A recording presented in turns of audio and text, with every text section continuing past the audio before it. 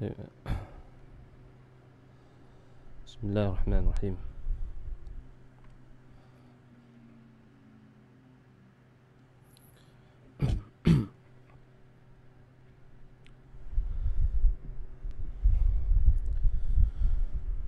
طيب. السلام عليكم ورحمة الله وبركاته إن الحمد لله نحمده ونستعينه ونستغفره ونعوذ بالله من شرور أنفسنا ومن سيئات أعمالنا. من يهده الله فلا مضل له ومن يضلل فلا هادي له. أشهد أن لا إله إلا الله وحده لا شريك له. أشهد أن محمدا عبده ورسوله. يا أيها الذين آمنوا اتقوا الله حق تقاته ولا تموتن إلا وأنتم مسلمون. يا أيها الناس اتقوا ربكم الذي خلقكم من نفس واحدة وخلق منها زوجها وبث منهما رجالا كثيرا ونساء. واتقوا الله الذي تساءلون به والأرحام إن الله كان عليكم رقيبا. يا أيها الذين آمنوا اتقوا الله وقولوا قولا سديدا. يصلح لكم أعمالكم ويغفر لكم ذنوبكم. ومن يطع الله ورسوله فقد فاز فوزا عظيما. أما بعد فإن أصدق الحديث كتاب الله وخير الهدي هدي محمد صلى الله عليه وعلى آله وسلم وشر الأمور محدثاتها وكل محدثة بدعة وكل بدعة ضلالة وكل ضلالة في النار. أما بعد الحمد لله Subhanahu wa taala. Uh, kita diberikan kesempatan pada malam ini untuk kita uh, sambung uh, perbahasan kita berkenaan dengan uh, manhaj ahli sunnati wal jamaah dalam uh, mentaati pemerintah dan juga menasihati ataupun berinteraksi dengan pemerintah. Baik. uh, jadi kita sambung pada perbahasan kita. Jadi uh, itulah berkenaan dengan uh, hadis-hadis uh, Nabi sallallahu alaihi wasallam yang dibawa oleh uh, ulama ahli sunnah para ulama kita seperti Imam Ibn Abi Asim rahimahullah. Uh, cuma anda nak perbetulkan sebelum ni anda anda, teba, anda baca satu hadis tu. Uh, satu hadis anda baca anda salah. Uh, hadis uh, maksudnya anda uh, anda, anda tak perasan anda baca tu dengan zai. Hadis uh, Ibn Abi Asim dia, dia letak bab dia tu dalam sunnah dia letak bab fi zikri fadli ta'ziri ta'ziril amir wa tawqirihi. So sebelum ni anda baca ta'zizi. Anda baca dengan zai. Ya. baik uh, sebenarnya dia tak taklah apa taklah berbeza makna tu taklah lari lari banyak ha. Cuma still kena kena kena akui lah kalau kita dah salah baca kan. Baik bab fi zikri fadli ta'ziri ta'ziril amir wa tawqirihi. Sebelum ni kelas yang sebelum ni anda baca ta'zizi. Ha, so dia kita kata dia tak tak tepat lah. Ya, kena tunjuk kat sini. Nak harap nampak kot.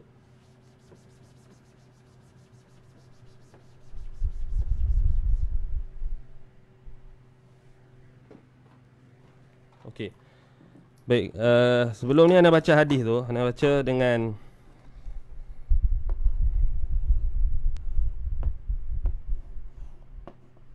Anda baca dengan ta'zizi. Zai. Ha? Anda baca dengan uh, anda baca dengan ta'ziz.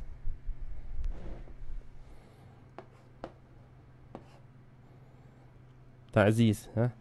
Baik. Dia sebenarnya Bukan Zai, bukan Zai ya. So anda baca Zai tu salah lah. Ha? So anda baca Zai ni salah. Sebenarnya hadis uh, bab yang Imam Ibn Abi Asim sebut dalam kitabnya As-Sunnah tu bukan bab ta'zizi, tapi bab ta ta'ziri, ta'ziri. Yang betulnya ta'ziri. Ra. Eh? Baik, apa beza dua ni? Okey, ha. letak balik tepi ni. Okey. Uh, bab Imam Ibn Abi Asim rahimahullah letakkan bab dalam sunnah, as-sunnah kitab dia. Bab ta'ziri. ha? ta'ziril amir wa tawqirihi ta'ziri daripada azzara yu'azziru ta'zir ha, dalam Quran Allah Taala sebut dalam uh, ayat uh, liyu'az apa uh,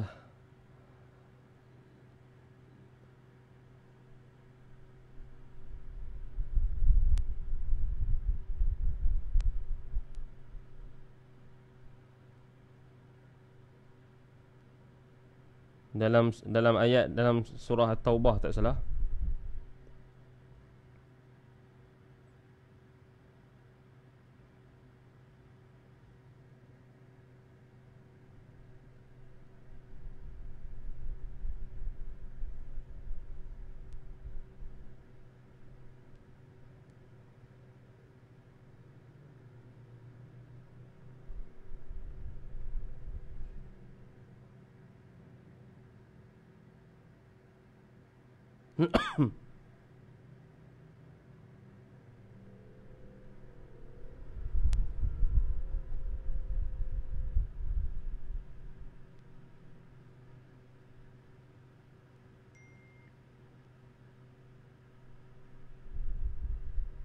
Ya.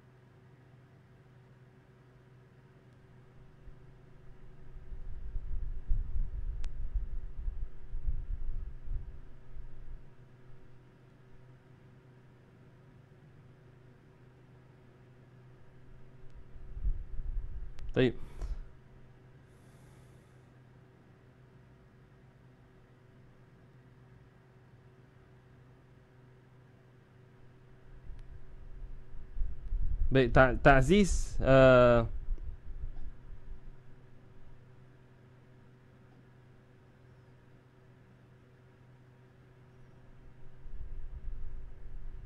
Baik, dalam bahasa Arab kalau kita tengok az azzara maksudnya yu'azziru ta'zira azzamahu wa waqqarahu. Ah dia macam ni baik uh, dalam al-Quran dalam surah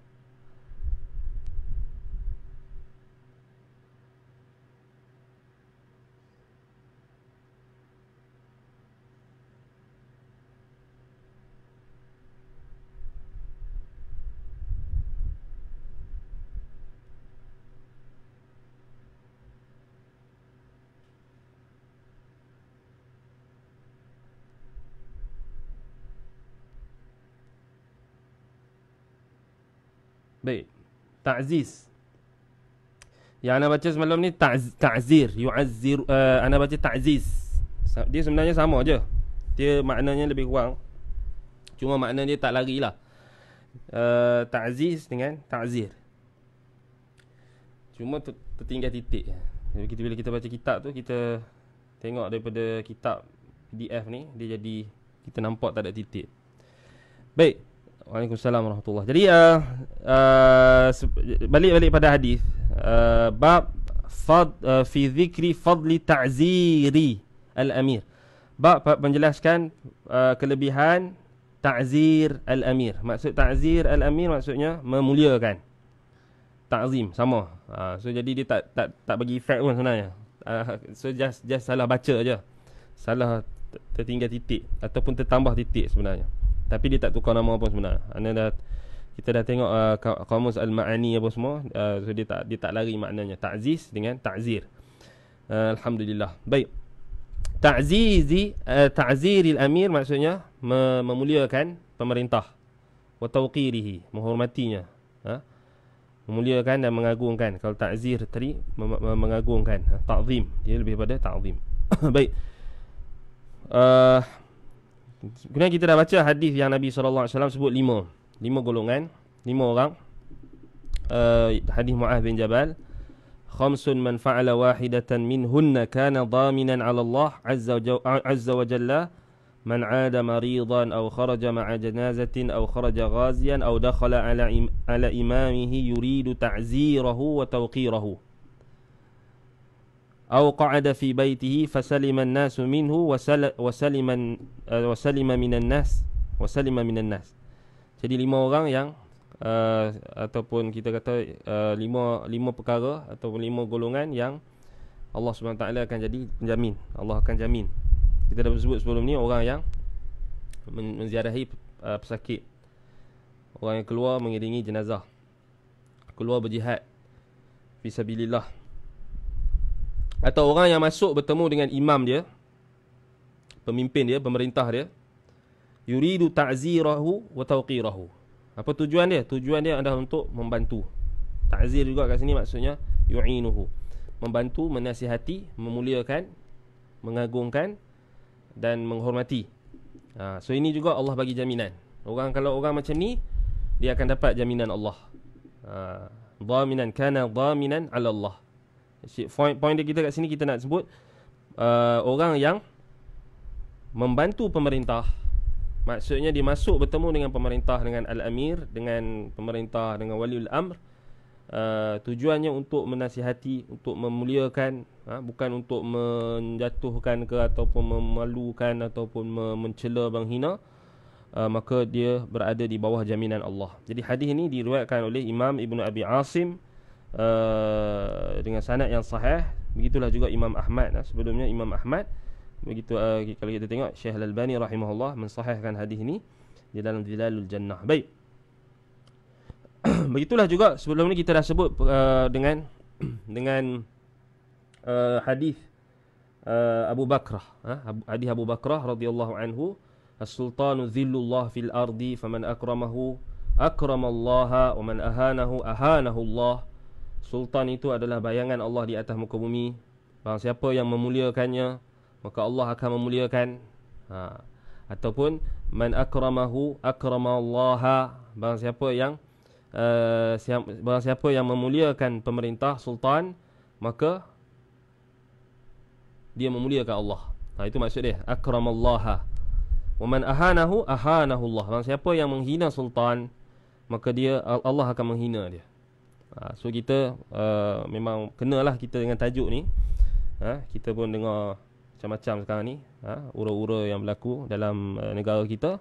Ala kulihal kita doakan kebaikan ha, pemerintah kepada raja kita yang di-Pertuan Agong Sultan ha, uh, dan juga pemimpin-pemimpin ha, yang uh, memang kita kata mereka uh, berkhidmat ha, untuk uh, kita kata demi kepentingan rakyat mereka ha, dan kita mintakan supaya apa perkara-perkara yang tidak diingini itu tidak berlaku lah sebab itu sebagai rakyat Malaysia kita janganlah termakan dengan provokasi terutama sekali provo- provokasi orang politik. So orang politik ni waktu ni lah dia nak dia nak dia nak cari dia nak cari masalah kan. Ha, waktu ni lah dia nak hasut rakyat. Ha, waktu ni lah dia nak suruh orang orang benci dengan pemerintah.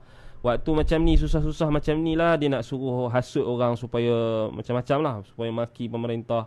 Supaya cari kesalahan pemerintah. Kita stand kita sebagai ahli sunnah ni kita sebenarnya. Kita adalah stand yang paling apa? Paling murni sekali. Paling kita kata paling tak bawa masalah adalah ahli sunnah. Kalau kita betul-betul amalkan sunnah Nabi saw kita tak kita akan kita kata kita akan menjadi asbab uh, yang meneguhkan lagi uh, negara kita dan juga menjadi menjadi asbab yang akan meneguhkan lagi uh, apa kita kata uh, rakyat dan juga pemerintah uh, lebih-lebih lagi dalam kita dalam situasi kita berdepan dengan situasi pandemik uh, COVID-19 ni yang masih lagi kita tak boleh uh, tak boleh merasa lega ataupun kita masih lagi tak boleh uh, merasa kita dah dah dah apa dah uh, dah bebas uh, dan juga kita uh, perlu uh, kembali kepada Allah Subhanahu Wa Taala antara bentuk kita kembali kepada Allah Subhanahu Wa Taala adalah dengan kita melazimi perintah Nabi SAW supaya kita taat kepada pemerintah. Ha? Supaya kita taat kepada pemerintah. Dan kita tidak menghasut dan tidak membuat provokasi Ha, so bila kita bila dalam keadaan yang yang macam ni, sepatutnya kita sebagai rakyat ni kita jangan termakan, mudah termakan dengan provokasi orang politik. Sebab orang politik memang itulah kerja dia. Ha, kalau kita uh, ada sedikit sahaja uh, rasa uh, prihatin, ha, rasa rahmat, ha, yang Nabi SAW perintahkan kita ini supaya merahmati.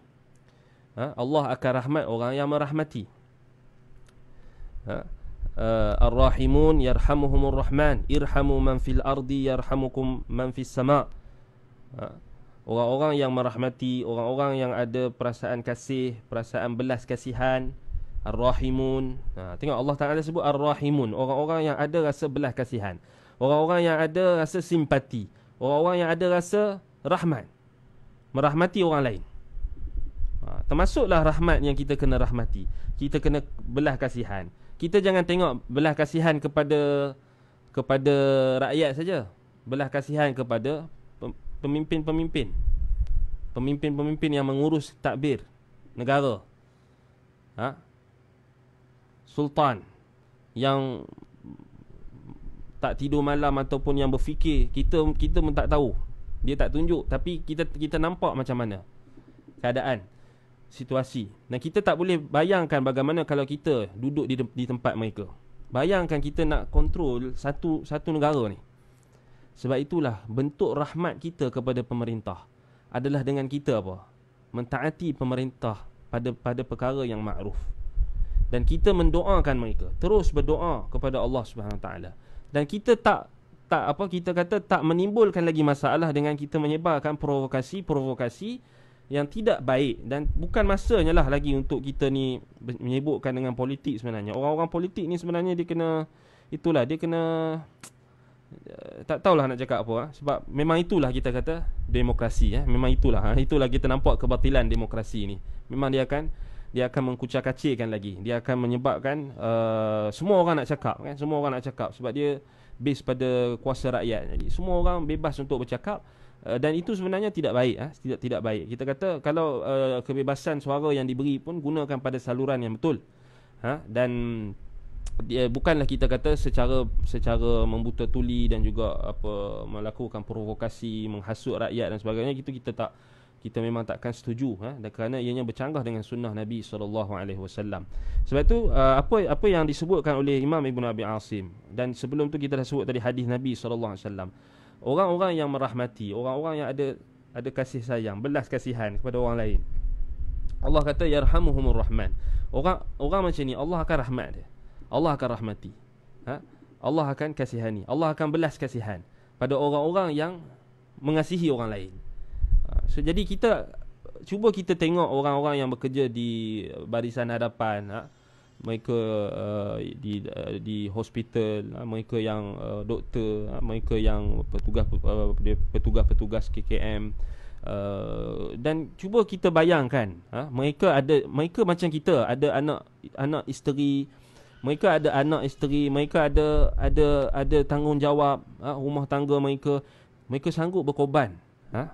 dan mereka kita kata berkorban nyawa dan dan dan juga kita kata apa uh, kehidupan mereka itu kita kata mereka gunakan mereka uh, mengerahkan uh, sepenuh tenaga semata-mata untuk uh, kita kata apa untuk mendepani uh, pandemik uh, yang kita kita hadapi sekarang ini.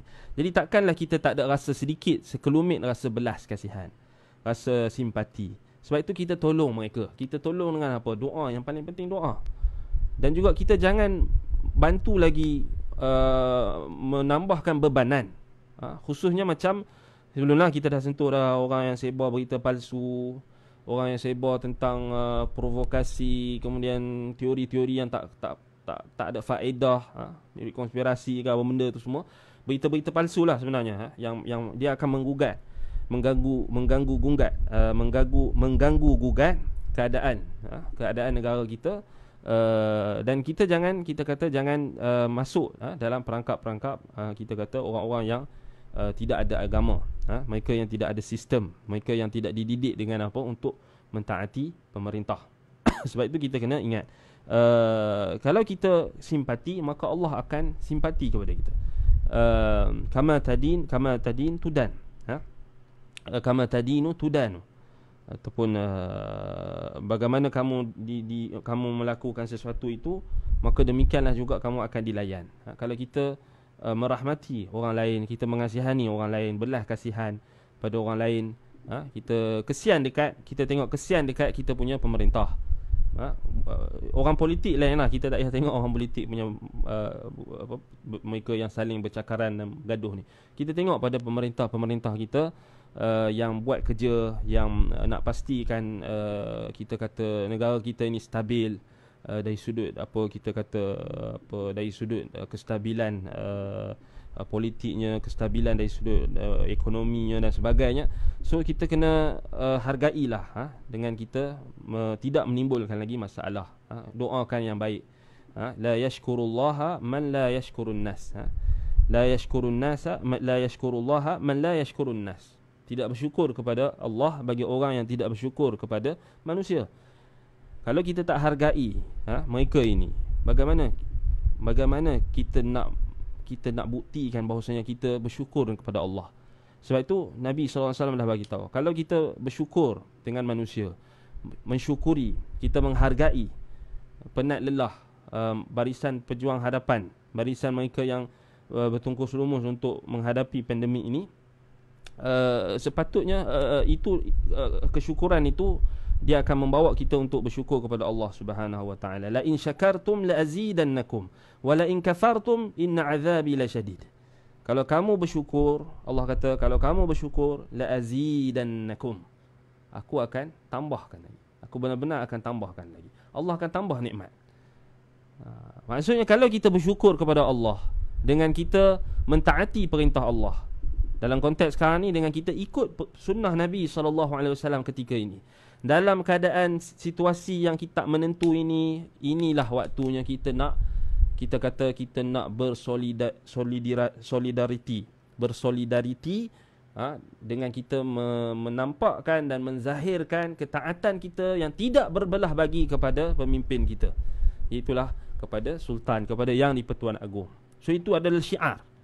Ha, syiar Islam syiar sunnah ha, bukannya kita sibuk dengan uh, menimbulkan lagi masalah, mendatangkan lagi provokasi, meniupkan lagi pe, api kebencian uh, terhadap pemerintah dan sebagainya.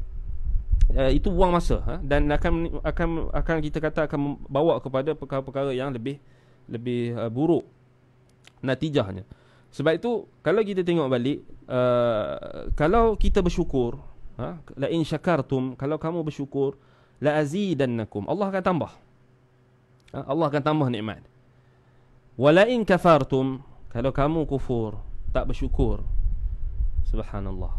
Inna azabi lasyadid. Allah kata sesungguhnya azabku tu sangat pedih. Ha? So kita kita kita kena faham. Bila kita dalam situasi macam ni, kita kena apa? Kita kena muhasabah. Dan kita kena tambahkan lagi kesyukuran kita. Kita tak boleh nak banding beza dengan keadaan-keadaan di negara-negara yang lain ya, yang bergolak sebab itu keamanan yang ada dalam negara kita ni wajib kita pertahankan. Ha? Wajib kita pertahankan. Anda pernah dengar ha? ada orang yang dia main-main. Ha? Dia main-main dengan istilah uh, negara kita masih aman. Tak apa negara kita masih aman. Dia troll perkataan tu.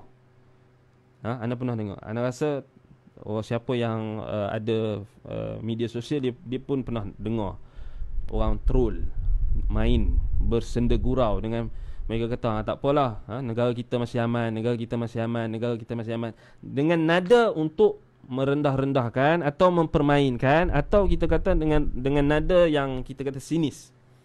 Menunjukkan dia tak bersyukur. Anda cakap mudah aja kita tak pernah susah ha? kita duduk dalam Malaysia ni alhamdulillah. Ha? kita aman sebab tu macam mana kita nak nak nak pastikan keamanan itu kekal. Nak nak kekalkan keamanan tu yang tu yang susah. Tapi bila keamanan tu dah ditarik subhanallah takkan siapa yang boleh kembalikan kecuali Allah Subhanahu Wa Taala. Cuba kita tengok negara-negara yang bergolak sampai sekarang. Cuba kita tengok negara-negara di Timur Tengah di Libya kemudian sekarang ni di Armenia, kemudian di Yaman. Cuba tengok sekeliling kita. Bila keamanan tu dicabut. Keamanan tu dicabut. Waktu tu kita mungkin kita takkan kita akan menyesal dengan apa yang kita cakap. Kita akan menyesal dengan apa yang kita trollkan sebelum ni. Sebab memang orang macam ni kadang-kadang dia macam agak dia macam dia, dia ingat semua benda kita boleh main-main. Ha, nak troll pun benda benda berkenaan dengan keamanan dengan ke, ke, ketakutan ni. Benda yang kita tak boleh main-main. Ha, siapa yang pernah duduk dalam situasi perang? Tanya siapa-siapa yang pernah duduk dalam situasi perang. Ha. Karena dulu di Yaman. Ha? Time mengaji dulu memang kita duduk dalam situasi perang. So kita tahu Bawah bawah rumah kita tu Malam-malam memang Peluru saja. Bunyi peluru saja. So kita tahu Kita pun macam dah Esok ni hidup lagi ke tak ni? Kan? Ha. Yalah mati Mati kat mana boleh mati? Tapi nak bagi tahu Keamanan tu. Sebab itu orang yang tak pernah rasa uh, Hujan peluru dia takkan pernah menghargai nikmatnya keamanan, hujan keamanan. Orang yang tak pernah rasa macam mana kalau kita tengok sahabat-sahabat kita ada yang daripada Syria, ada yang daripada Palestin, ada yang daripada negara-negara yang bergolak. Ha? Cuba kita tengok yang datang daripada Myanmar, yang berhijrah datang ke negara kita. Cuba tanya dia orang. Yang Iraqnya. Cuba tanya dia orang. Apa perasaan kamu kita akan dapat. Bahkan nasihat-nasihat dia orang banyak. Dia orang akan kata kamu rakyat Malaysia kena kena bersyukur dengan keamanan yang kamu ada. Pastikan keamanan ni terpelihara. Jangan jadi macam kami. So banyak kalau kita, akan dengar. Sahabat-sahabat kita akan cakap benda yang sama. So kita negara kita ni keamanan itulah yang kita kata yang kita kena kekalkan. Macam mana nak kekalkan keamanan? Ada antaranya adalah dengan kita beriman kepada Allah Subhanahu Wa Taala beriman dengan sebenar-benar keimanan dan tidak mencampur adukkan keimanan kita dengan kesyirikan. Alladzina amanu walam yalbisu imanahum bidzulmin ulaika lahumul amn wa hum muhtadun. Orang-orang yang beriman. Allah kata orang-orang yang beriman. Alladzina amanu walam yalbisu imanahum bidzulmin dan mereka tidak mencampur adukkan iman mereka dengan kezaliman. Yakni dengan kesyirikan. Ulaika lahumul amn bagi mereka itulah apa? Keamanan. Wa hum muhtadun. Dan mereka mendapat petunjuk. Keamanan di dunia ha? Dan juga petunjuk ha, yang akan membawa mereka kepada syurga. Keamanan daripada perkara-perkara yang tidak diingini keamanan daripada kesyirikan itu yang paling penting. Keamanan daripada kekufuran keamanan daripada uh, apa perkara-perkara yang boleh menimbulkan kemudaratan dan sebagainya. Allah jamin orang yang menjaga keamanan. So macam mana kita sebagai rakyat Malaysia, kita sebagai rakyat ini nak pastikan keamanan ini terpelihara. Antaranya adalah dengan kita apa? Dengan kita melazimi perintah Nabi sallallahu alaihi wasallam. Iaitulah kita mendengar dan taat, patuh kepada perintah pemerintah dalam hal ma'ruf. Walaupun hati kita tak suka. Walaupun kita rasa berat. Kerana itulah, kat situlah Allah Ta'ala nak bagi pahala. Kalau benda semua ni senang, kat mana kita nak dapat pahala? Bahkan kalau kita tengok balik perintah Nabi SAW itulah yang senang sebenarnya.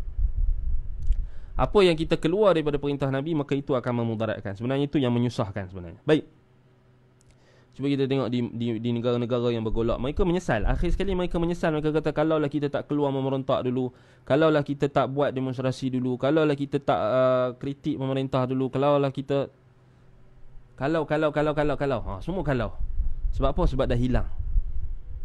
Dah hilang. Kita pasal kita selesa. Kita selesa dengan keamanan. Kita selesa dengan kemewahan. Jadi kadang-kadang tu dia menyebabkan kita terlupa Dan terleka sebab itu ini menjadi tanggungjawab kita semua umat Islam ha? umumnya ha? khususnya ahli sunnah ha? penuntut-penuntut ilmu ha? mereka adalah orang yang menjadi ejen keamanan yang mengajak kepada keamanan, mengajak kepada tauhid, mengajak kepada menjauhi kesyirikan. Karena itulah kerana syirik itulah adalah apa? Adalah perkara yang akan bertentangan dengan keamanan itu sendiri. Perkara-perkara yang khurafat dan sebagainya itu. Ha? Baik. Uh, kemudian uh, kalau kita tengok dalam kitab uh, As-Sunnah Ibn Abi Asim lagi ada satu lagi bab yang Imam Ibn Abi Asim letakkan. So bab apa? Bab ma dzukira an Nabi sallallahu alaihi wasallam min amrihi bi ikrami sultani wa zajrihi an ihanatihi. So bab yang yang ni lagi jelas. Ha?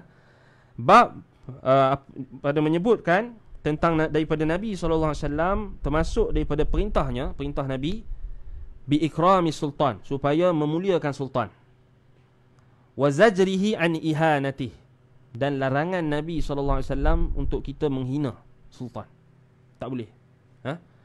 Kemudian Imam Ibn Abi Asim bawa ke riwayat uh, hadis Abi Bakrah yang sebelum ni man ahana man ahana sultana ahanahu Allah. Barang siapa yang menghina sultan maka Allah akan hina dia. Ha, Allah akan hina dia. Baik. Kemudian uh, dalam riwayat Ibn Abi Asim lagi kalau kita tengok uh,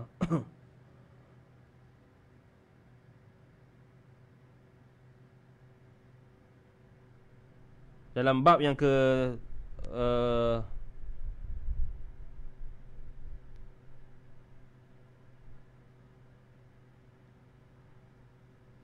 So banyak lagi lah ha? Kalau kita nak sebut ni banyak ha? Itu menunjukkan apa Kalau kita tengok riwayat-riwayat salaf Riwayat-riwayat ulama ahli, ahli, ahli hadis Ahli sunnah Tentang wajib mentaati pemerintah, wajib menghormati pemerintah, ha? wajib mentaati mereka dalam perkara makruf, wajib menghormati mereka, memuliakan mereka. Ha? Sangat-sangat banyak ha? dalam kitab-kitab Ahlul Hadis dan juga Ahlus Sunnah. Ha? Kalau kita tengok begitulah juga dalam uh, kitab-kitab uh, apa? Uh, usul fiqh pun ha? pun sangat banyak ha? Kita tadi kita sebut kitab hadis. Baik. Uh, dan kalau kita tengok nas-nas, uh, nusus, uh, teks-teks Al-Quran dan Sunnah yang banyak uh, telah datang uh, menjelaskan kepada kita bahawasanya wajibnya kita memuliakan dan membantu pemerintah, uh, pemerintah kita. Dan larangan kita mencela mereka, mencela dan juga mengurangkan kedudukan mereka di sisi rakyat jelata. Haram. Ha? Kenapa? Karena li hikmatin azimatin wa maslahatin kubra kerana adanya hikmah yang agung maslahat yang paling besar ha, apa maslahat kita nak tahu apa maslahat kita taat pemerintah dan apa hikmah dia yang paling agung kalau kita tengok hikmah dan juga maslahat yang paling besar ini di, di, diisyaratkan oleh al-Imam Al-Qarafi di dalam kitabnya Az-Zakhirah ha? di dalam kitabnya Az-Zakhirah ha? dia kata apa uh, قاعدة كده ضبط المصالح ضبط المصالح العامة واجب ولا ينضبط إلا بعظمة الأئمة في نفس الرعية ومتى اختلفت عليهم أو أهنوا تعذرت المسلحة انتهى كلامه تيوه أه؟ علماء أه؟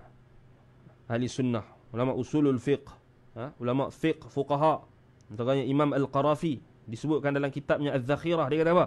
Qaidah satu kaidah. Dhabtul masalihil ammah wajibun. Ini kaidah penting.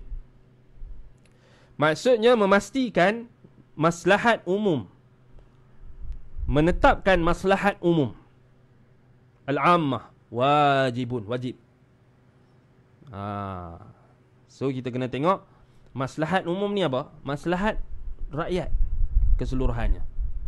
Maslahat apa? Maslahat yang diakui oleh agama. Iaitu maslahat tentang nak menjaga agama. Maslahat yang diakui oleh Rasulullah SAW menjaga Al-Quran, menjaga sunnah, menjaga agama. Dan juga menjaga kepentingan rakyat umum. Maslahat ammah. Menjaga keamanan. Ha. Maka hukum dia apa? Wajibun, wajib. Ha, so bila kita sebut masalihul ammah, maslahat umum, ha, ini yang orang tak faham ni, orang politik dia tak faham. Mana maaf anda cakap orang politik ni dia tak faham. Kecuali orang politik yang dirahmati Allah lah. Ha, illa man rahimah rabbuk. Marah pula orang politik ni lagi dia kata kita kata semua orang kan. Kecuali yang dirahmati oleh Allah. Tak, tak apalah. Eh. Baik. Sebab apa? Sebab dalam situasi yang macam kita kata situasi yang uh, genting. Orang politik lah orang yang paling tak tahu masalah umum. Ha, yang dia tahu dia nak dapat jawatan. Yang dia tahu dia nak dapat jadi uh, jadi something something, dia nak dapat jawatan dan sebagainya, dia nak dia nak berebut kerusi. Ha, yang dia tahu oh nak pilihan raya. Ha, kan? Akhir sekali ha, cuba kita tengok kesan dia. Ha, dulu marah apa jemaah tabligh. Tiba-tiba orang politik. Ha, ha tak apa. Kan? Dulu dia orang punya hentam jemaah tabligh. Tapi bila time sampai kat dia orang rasanya jemaah tabligh bagus sikit. jemaah tabligh bagus sikit kot. Ha? Sekurang-kurangnya dia orang uh, di kuarantin apa semua dia orang dengar cakap. Kan? Tapi orang politik ni dia ada ada dia ada kibr, dia ada sombong sikit, susah sikit kan. Baik, jadi kaedah yang Al-Qarafi sebut ni, Imam Al-Qarafi sebut, dhabtul masalihil ammah. Bila kita sebut masalihul ammah, maslahat umum. Dalam konteks kita sekarang, apa maslahat umum? Ini kalau kita tak tahu ukur maslahat ni, ni bahaya. Ha, adakah maslahat umum sekarang ni adalah kita buat buat pilihan raya? Oh, dia tak ada tak ada tak ada audien ni kalau ada audien anda nak minta angkat tangan. Siapa setuju? Adakah maslahat umum sekarang? Cuba kita tengok ni. Eh, kita nak praktikkan terus kaedah uh, yang Imam Al-Qarafi sebut. Masalihul ammah wajibun. Maslahat umum wajib. Ha, poinnya di sini, adakah kita buat pilihan raya sekarang ni maslahat umum? Jawapannya tidak. Eh, sebab tu orang marah. Bahkan lagi bertambah bertambah tersebar penyakit. So dia tak termasuk maslahat umum Bila dia bukan maslahat umum Tapi dia akan takwil lah Geng-geng politik dia akan takwil lah oh, Yalah Dia kata Sebab pemerintah sekarang ni tak betul Bengi bla bla bla bla Kita lah kena ambil ha. Dia dia dia corner kat situ pula ha. Itu kita kata tak boleh pakai ha? Kerana dia dia bukan cakap Base pada uh, Maslahat umum Tetapi maslahat Kepentingan parti politik, kepentingan peribadi dan sebagainya. So maslahat umum ni siapa yang nak tengok, siapa yang nak tentukan bukan ahli politik. Ahli politik, maaf kata, mereka tak mereka tak dalam dalam situasi mereka berpolitik tu kita tak boleh kita tak boleh anggap mereka ni pandai untuk menilai maslahat umum. Ha, sebab dia ada elemen hawa nafsu. Sebab itu kita serah kepada siapa? Serah kepada ulama dan umara. Ha, ahli ilmu. Ha, mereka lah yang tentukan maslahat umum ulama kepada wakil pemerintah. Kan? So, dalam konteks kita sekarang ni, uh, KKM, ha, Kementerian Kesihatan Malaysia, di, yang kita kata mereka ada adalah waliul am, ha, yang diwakilkan, maka mereka tahulah masalahnya sebab mereka tahu situasi. Ha, boleh ke tak boleh tak boleh boleh ke buat macam ni tak boleh boleh ke SOP nak kena ketatkan semua kita kena serahkan dewa Bayangkan kalau kita serahkan kat netizen. Ha, rosak. cuba, cuba bayangkan. Cuba bayangkan SOP ni kita serah kat semua orang. Takkan terlaksanalah maslahat umum tu. Bahkan akan rosak lagi. Takkan jadi maslahat lah, jadi mafasid.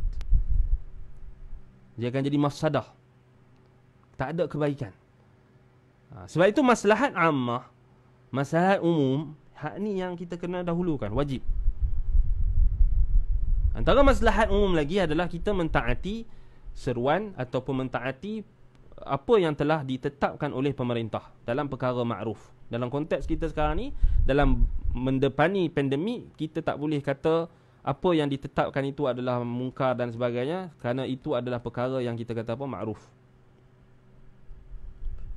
Tapi ustaz saya saya ah, tapi tapi tapi tapi ada ustaz kata, tapi ada ustaz kata tak kita kena solat juga dekat masjid. Tapi ada kita kena apa jar, uh, jangan jarak kan. Kita kena rapatkan juga saf.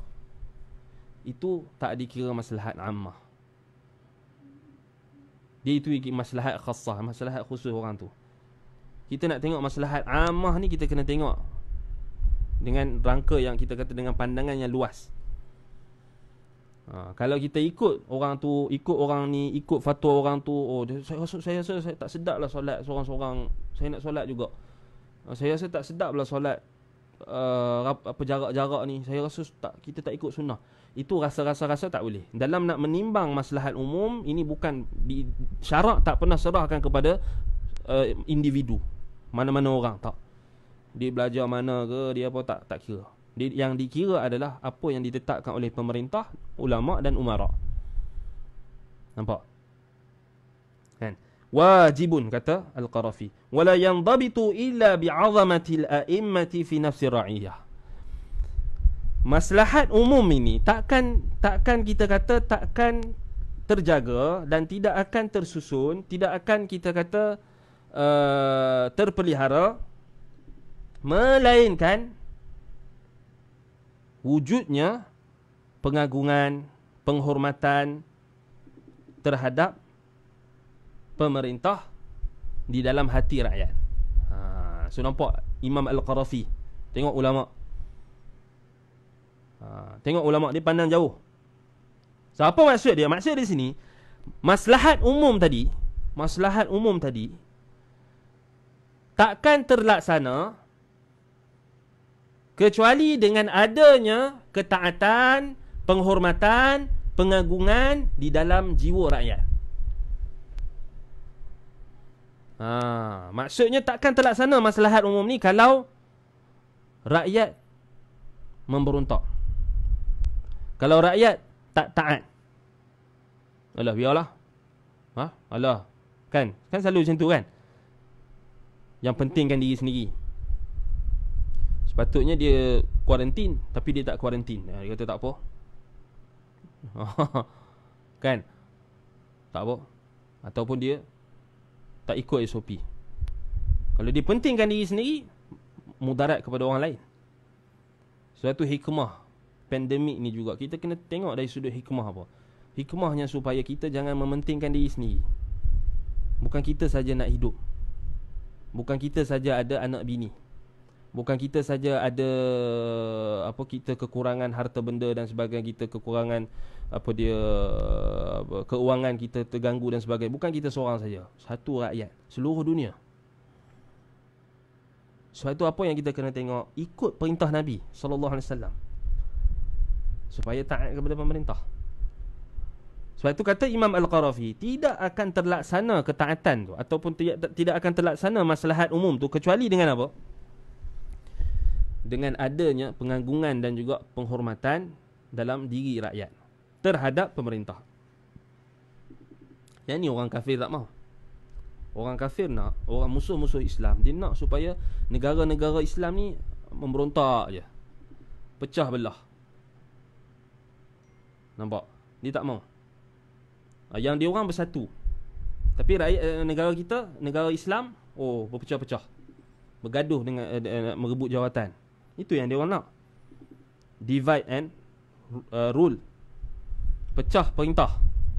Bila pecah, perintah. dia orang akan masuk. Uh, so di, sebab sebab itu kita kata uh, apa yang disebutkan oleh Imam Al-Qarafi ini betul. Maslahat umum tu takkan terhasil. Cuba bayangkan kalau semua orang tak ikut, tak dengar cakap.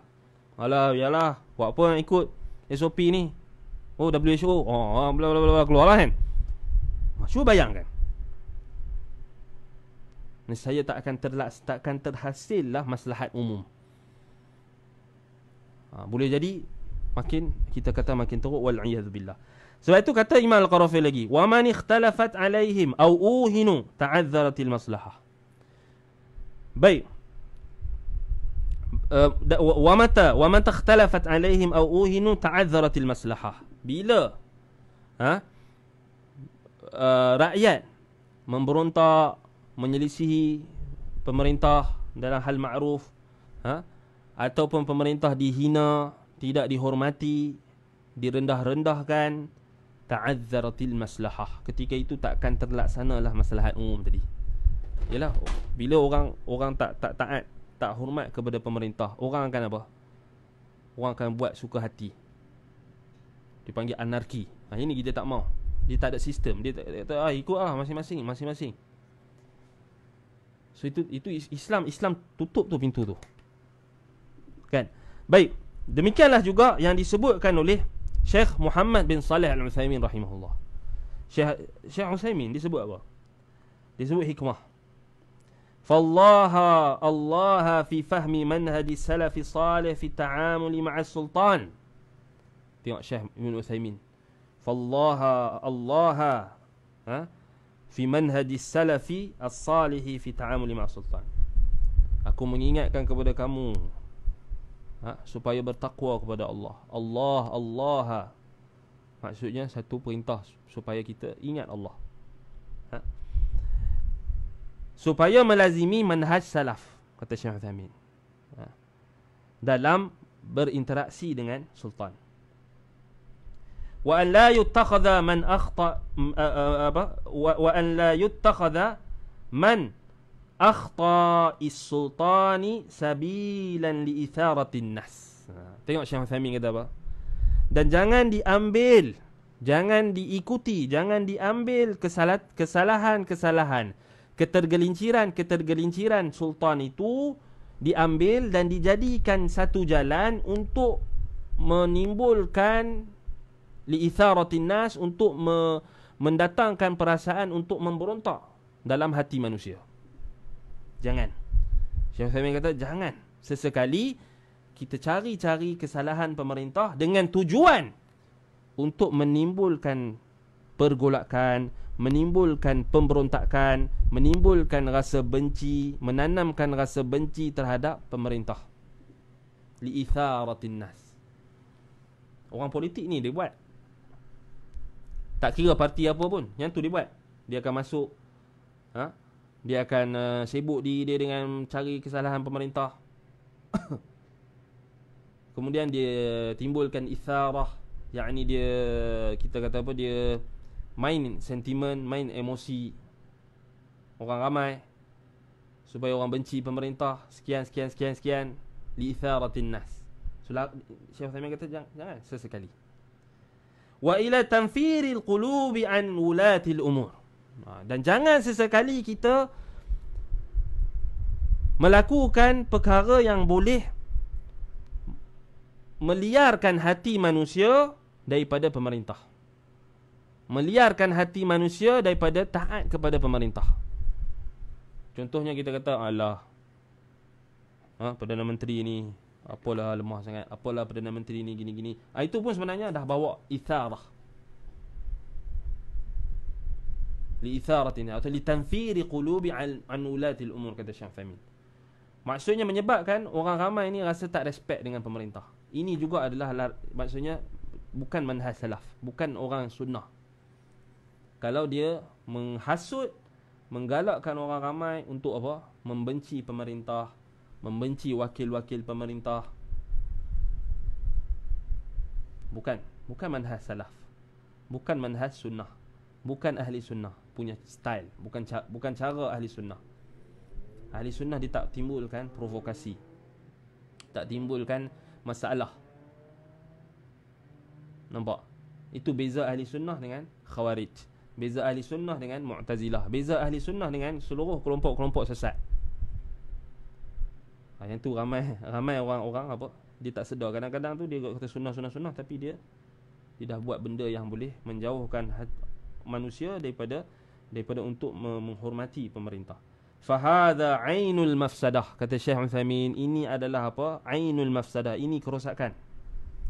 Maksudnya menimbulkan apa? Menimbulkan kebencian, menanamkan kebencian dalam hati rakyat eh, di kalangan rakyat ni terhadap pemerintah. Ini ini ainul mafsadah kata Syekh Uthaymin. Tengok ulama. Dia bukan kata wasilah mafsadah ni. Maksudnya menghasut orang untuk benci pemerintah ni bukan wasilah untuk memberontak dah. Bahkan kata Syekh Uthaymin, ainul mafsadah. Dia itu sendiri adalah apa? Kerosakan. Bukan wasilah kepada kerosakan. Menghasut rakyat, menghasut orang ramai supaya membenci pemerintah, tidak hormat kepada pemerintah, tidak mendengar dan patuh akan arahan pemerintah, itu sendiri adalah ainul mafsadah kerosakan sendiri kerosakan yang tersendiri. Dia bukan wasilah kepada kerosakan yang lain. Dia sendiri kerosakan. Wa ahadul usisal lati tahsulu bihal fitnatu bainan nas dan dia salah satu asas. Ha? Ataupun rukun yang akan menghasilkan yang akan terhasil daripadanya fitnah di antara manusia.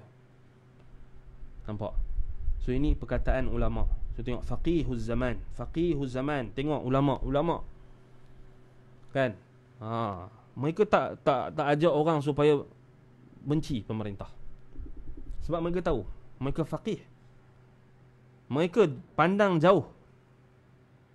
Kita kadang-kadang kita tak, kita kita ikut terhadap kita je, ikut suka hati kita je. Kalau kita rasa macam tak puas hati, oh kita pun update status. Apalah pemerintah ni suruh sekian sekian sekian. Apalah pemerintah ni bla bla bla bla bla. Itu itu kita. Sebab kita tak faqih. Betul tak? Netizen. Oh apalah kerajaan ni SOP dia buat gini-gini. Apalah kerajaan ni. Tapi ulama lain. Dia tak pandang macam kita. Dia tak gelojoh macam kita. Kita gelojoh. Sebab itu hakikatnya manusia ni Allah Ta'ala kata apa? Kana zaluman jahula. Zalum. Banyak melakukan kejahilan, kezaliman. Jahula, jahil. Dahlah jahil, zalim pula. Khuliqal insan min ajal. Satu lagi tergesa-gesa. Yasta'jilun. Tergesa-gesa.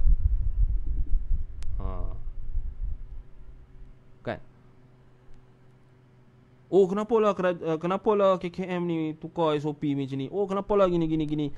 Itu sebenarnya tak membantu sebenarnya. Tak membantu. Bahkan kalau balik pada perkataan Syekh Uthaymin tadi.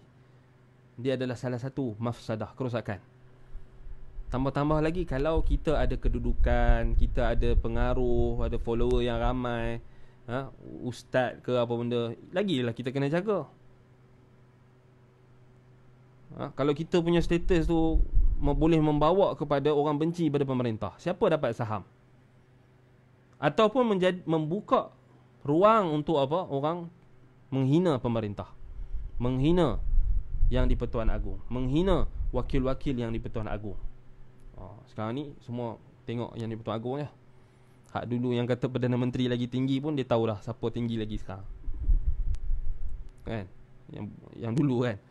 Atau uh, yang sebelum ni pun dah tahu. Sebab tu tak membantu. Sebab tu kita kena Perhatikan apa yang kita nak tulis Apa yang kita nak cakap. Ulama-ulama Tengok mereka melihat dengan pandangan basirah. Mereka melihat dengan pandangan yang tajam. Pandangan yang kita kata tulus. Mereka tak ada apa-apa kepentingan. Mereka menasihati Rakyat dan juga pemerintah. Baik. Uh, Kata uh, Syekh Husaymin lagi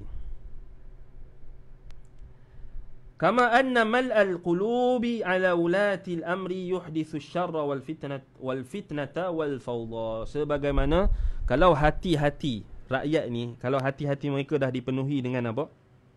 Kebencian, tidak respect kepada pemerintah, tidak hormat, dia akan menghasilkan fitnah, keburukan, al-fawda, huru-hara yang sangat dahsyat. وكذا ملء القلوب على العلماء يحدث التقليل من شأن العلماء وبالتالي التقليل من الشريعة التي يحملونها demikian juga kata Syekh Uthaymin kita memenuhkan hati orang ramai kita menghasut kita menyebarkan rasa kebencian menghasut orang ramai supaya membenci atau tidak menghormati ulama dengan cara apa Dengan kita kata lah ulama ni tak boleh pakai ulama ni semua ulama pemerintah ulama ni semua ulama makan gaji buta. Kadang-kadang kita keluar perkataan tu ada orang dia keluar perkataan tu dia tak dia tak ada rasa warak dan tak ada rasa takut kepada Allah. Dia lepas aja. Ha? dia tak tahu bahawasanya malaikat catat. Apa yang dia cakap? Ha? itu bahaya itu akan menyebabkan apa? Yuhdithu taqlila min sya'nil ulama. Dia akan mengurangkan, dia akan menimbulkan rasa rakyat ini orang ramai takkan menghormati ulama. Dan akan mengurangkan kedudukan ulama. Tengok ah, Syekh Uthaymin dia mulakan dengan pemerintah dulu. So tak boleh lah. Bolehkah kita kritik-kritik pemerintah ni maksudnya kita kritik kritik tu dengan dengan kita hasut orang ramai ha? Dengan kita tulis tu dengan hasut ha? Orang benci pemerintah troll dia orang troll menteri-menteri ha? Kutuk menteri ke kutuk uh, apa apa apa dia kita kata apa uh, wakil pemerintah. Boleh ke? Tak boleh ha? Jelas lah tak boleh. Kan? Ha, nanti kita akan bincangkan macam mana kita nak nak nak nasihat dan ataupun tegur. Macam mana kaedah yang yang benar untuk kita tegur kalau mereka melakukan kesalahan.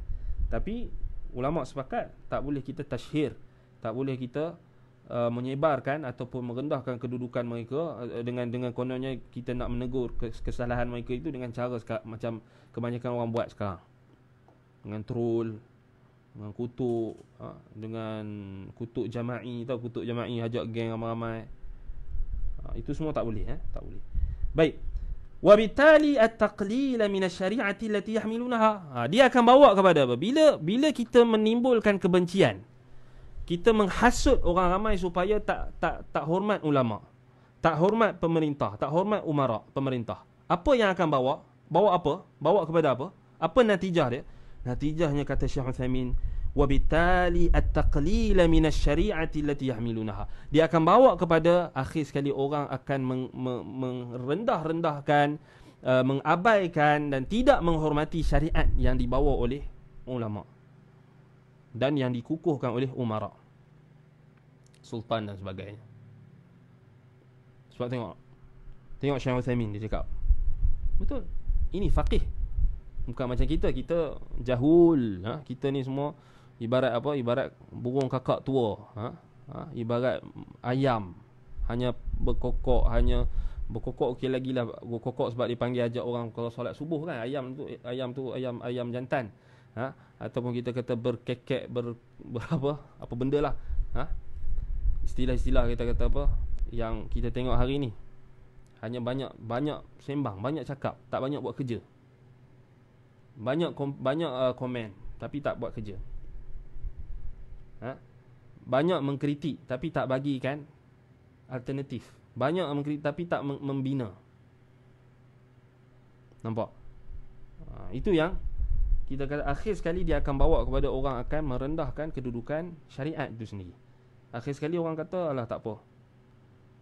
Allah dia akan bawa kepada apa? Dia merendahkan syariat. Buktinya kita dah tengok dulu kan cuba kan dulu geng-geng geng-geng cyber troopers dulu. Ni anak-anak kita kita cerita sejarah balik. Cuba tengok geng-geng cyber troopers yang zaman-zaman dulu. Dia orang yang uh, politician ni. Politician upah lah. Untuk serang orang tu untuk apa untuk buat macam ni macam ni macam ni ha? untuk apa buat troll dan macam-macam. Baik cuba tengok bila mereka uh, buat uh, kita kata mereka guna agama untuk membenarkan nafsu politik mereka dan sebagainya kemudian akhir sekali akhir sekali orang akan orang akan uh, orang akan pandang serong kepada agama. Ha? Dan mereka akan merendahkan hadis-hadis Nabi. Ha, so dia tengok tengok dia orang dulu dia orang tuduh orang yang tak bersama dia orang sebagai khawarij dan sebagainya akhir sekali orang tak tak respect hadis-hadis Nabi. Ha, kemudian orang orang akhir sekali menyebabkan orang merendahkan kedudukan hadis-hadis Nabi. Itu contoh. Orang tak orang tak respect Oh, kalau dia tengok hadis yang orang sebut khawarij ni dia kata geng ni lah.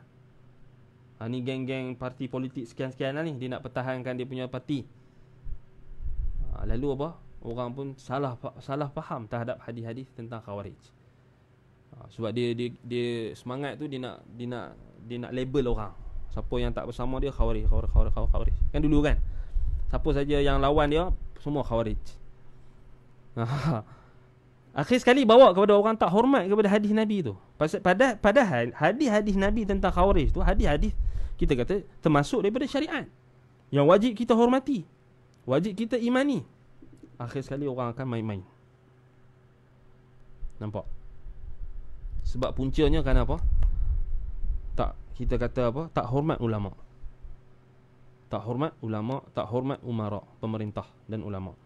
فإذا حاول أحد أن يقلل من هيبة العلماء وهيبة ولاة الأمر ضاع الشرع والأمن tengok kata Syekh Uthaymin bila bila mana-mana orang cuba untuk merendahkan kedudukan ataupun kehaibatan haibah haibah yang ada pada ulama wa haibati ulatil amri dan juga haibah yang ada pada pemerintah dha'a syar'u wal amnu akan hilanglah akan terabailah akan sia-sialah syariat dan keamanan subhanallah ini betul cuba kita tengok negara-negara yang bergolak apa yang berlaku mereka tak hormat pemerintah kalau pemerintah buat salah sikit habis.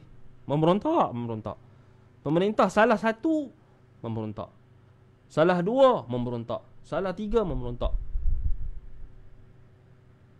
Mereka ingat pemerintah ni turun daripada langit, malaikat yang turun daripada langit. Tak, pemerintah ni macam kita.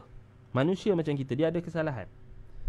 Cuma dia dimuliakan oleh Allah untuk mengurus takbir kita. Menjadi pemimpin kita. Sebab tu dalam syariat Islam meraihkan kedudukan mereka Islam menghormat memerintahkan kita supaya rakyat ini meng, menghormati kedudukan pemerintah dan bukan setakat menghormati bahkan menjaga haibah kehormatan kehormatan mereka tak boleh kita apa menjatuhkan kedudukan mereka haibah mereka tapi pasal kita dah dah dah terdidik dengan demokrasi. Semua orang nak hentam. Semua dia bebas bercakap. Itu jadi masalah. Ha, nampak? Itu jadi masalah. لأن الناس إن تكلم العلماء لم يثقوا بكلامهم وإن تكلم الأمراء تمردوا على كلامهم فحصل الشر والفساد Bila orang tak hormat pemerintah, orang tak hormat ulama, apa berlaku? Orang tak percayalah perkataan ulama lam yathiqu bi kalamihim macam geng-geng konspirasi ni kecuali mereka yang bertaubat illa alladhina tabu wa aslahu wa bayyanu kecuali orang yang bertaubat dia menyesal dia jelaskan balik kesalahan dia yang tu Allah Taala terima taubat dia menyebabkan orang lain tak percaya dengan perkataan ulama tengok bila kita bawa fatwa ulama oh dia kata ulama tak boleh pakai ni ulama ni ulama WHO, ni ulama dajjal, ni ulama dah kena makan makan gaji buta, bla bla bla bla bla bla tengok semua semua yang negatif. Sedangkan syariat perintahkan kita supaya apa? Hormat ulama. Nampak? Sebab itu kata Syekh Uthaymin, bila manusia mula dah cakap, mula dah semua orang nak cakap, semua orang nak kritik pemerintah. Akhir sekali menyebabkan orang ramai takkan percaya dengan perkataan ulama' takkan percaya dengan perkataan pemerintah. Tamarradu ala kalamihi mereka akan memberontak. Fahasal syarr wal fasad. Akan berlakulah apa? Keburukan dan kerosakan. Ha, itu dia punya starting point dia. Bila dah bila dah tak hormat pemerintah tak hormat ulama itu jadi dia akan menatijahkan kerosakan keburukan dan kerosakan yang dahsyat baik فالواجب أن ننظر ماذا سلك السلف تجاه ذوي السلطان وأن يضبط الإنسان نفسه وأن يعرف العواقب kata Syekh Uthaymin maka wajib kita melihat kita semua ni wajib melihat. Ha? bagaimana? Apa yang telah ditempuhi oleh golongan salaf yang terdahulu? Dalam mereka berinteraksi dengan sultan mereka berinteraksi dengan pemerintah. Dan hendaklah kita semua mengurus diri kita sendiri. Maksudnya jangan kita sibuk dengan nak cari kesalahan pemerintah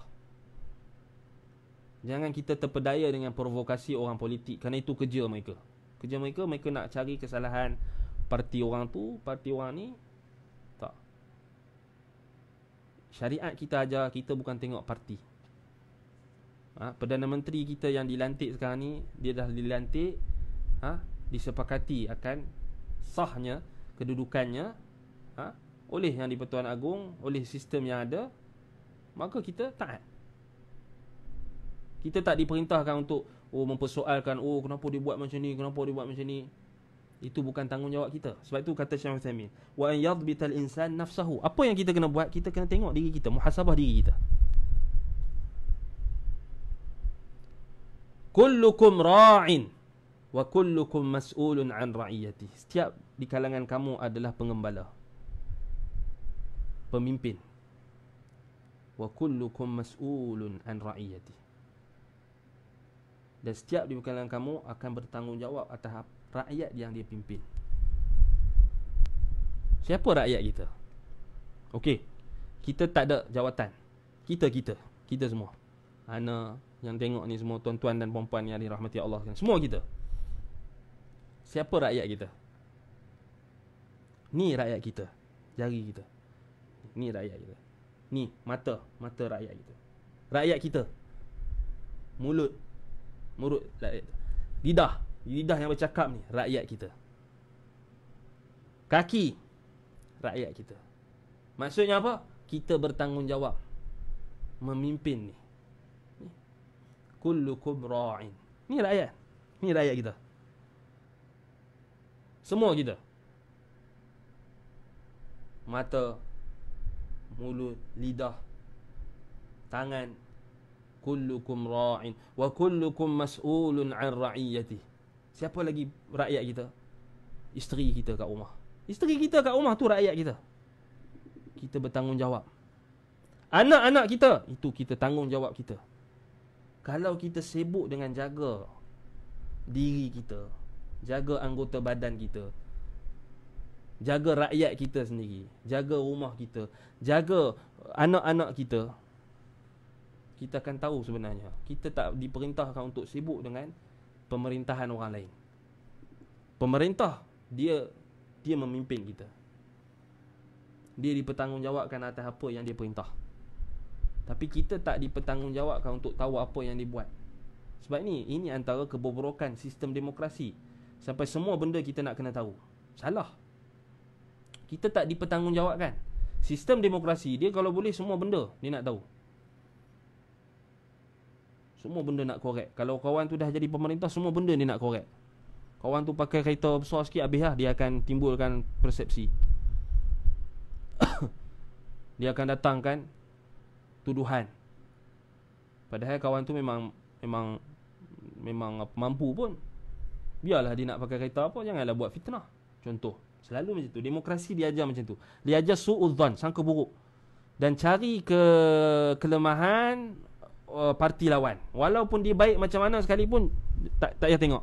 Tengok itu yang berlaku sekarang.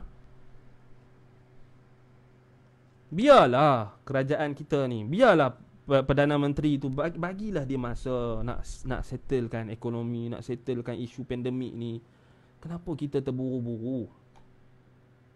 Dia terburu-buru ni. Bahaya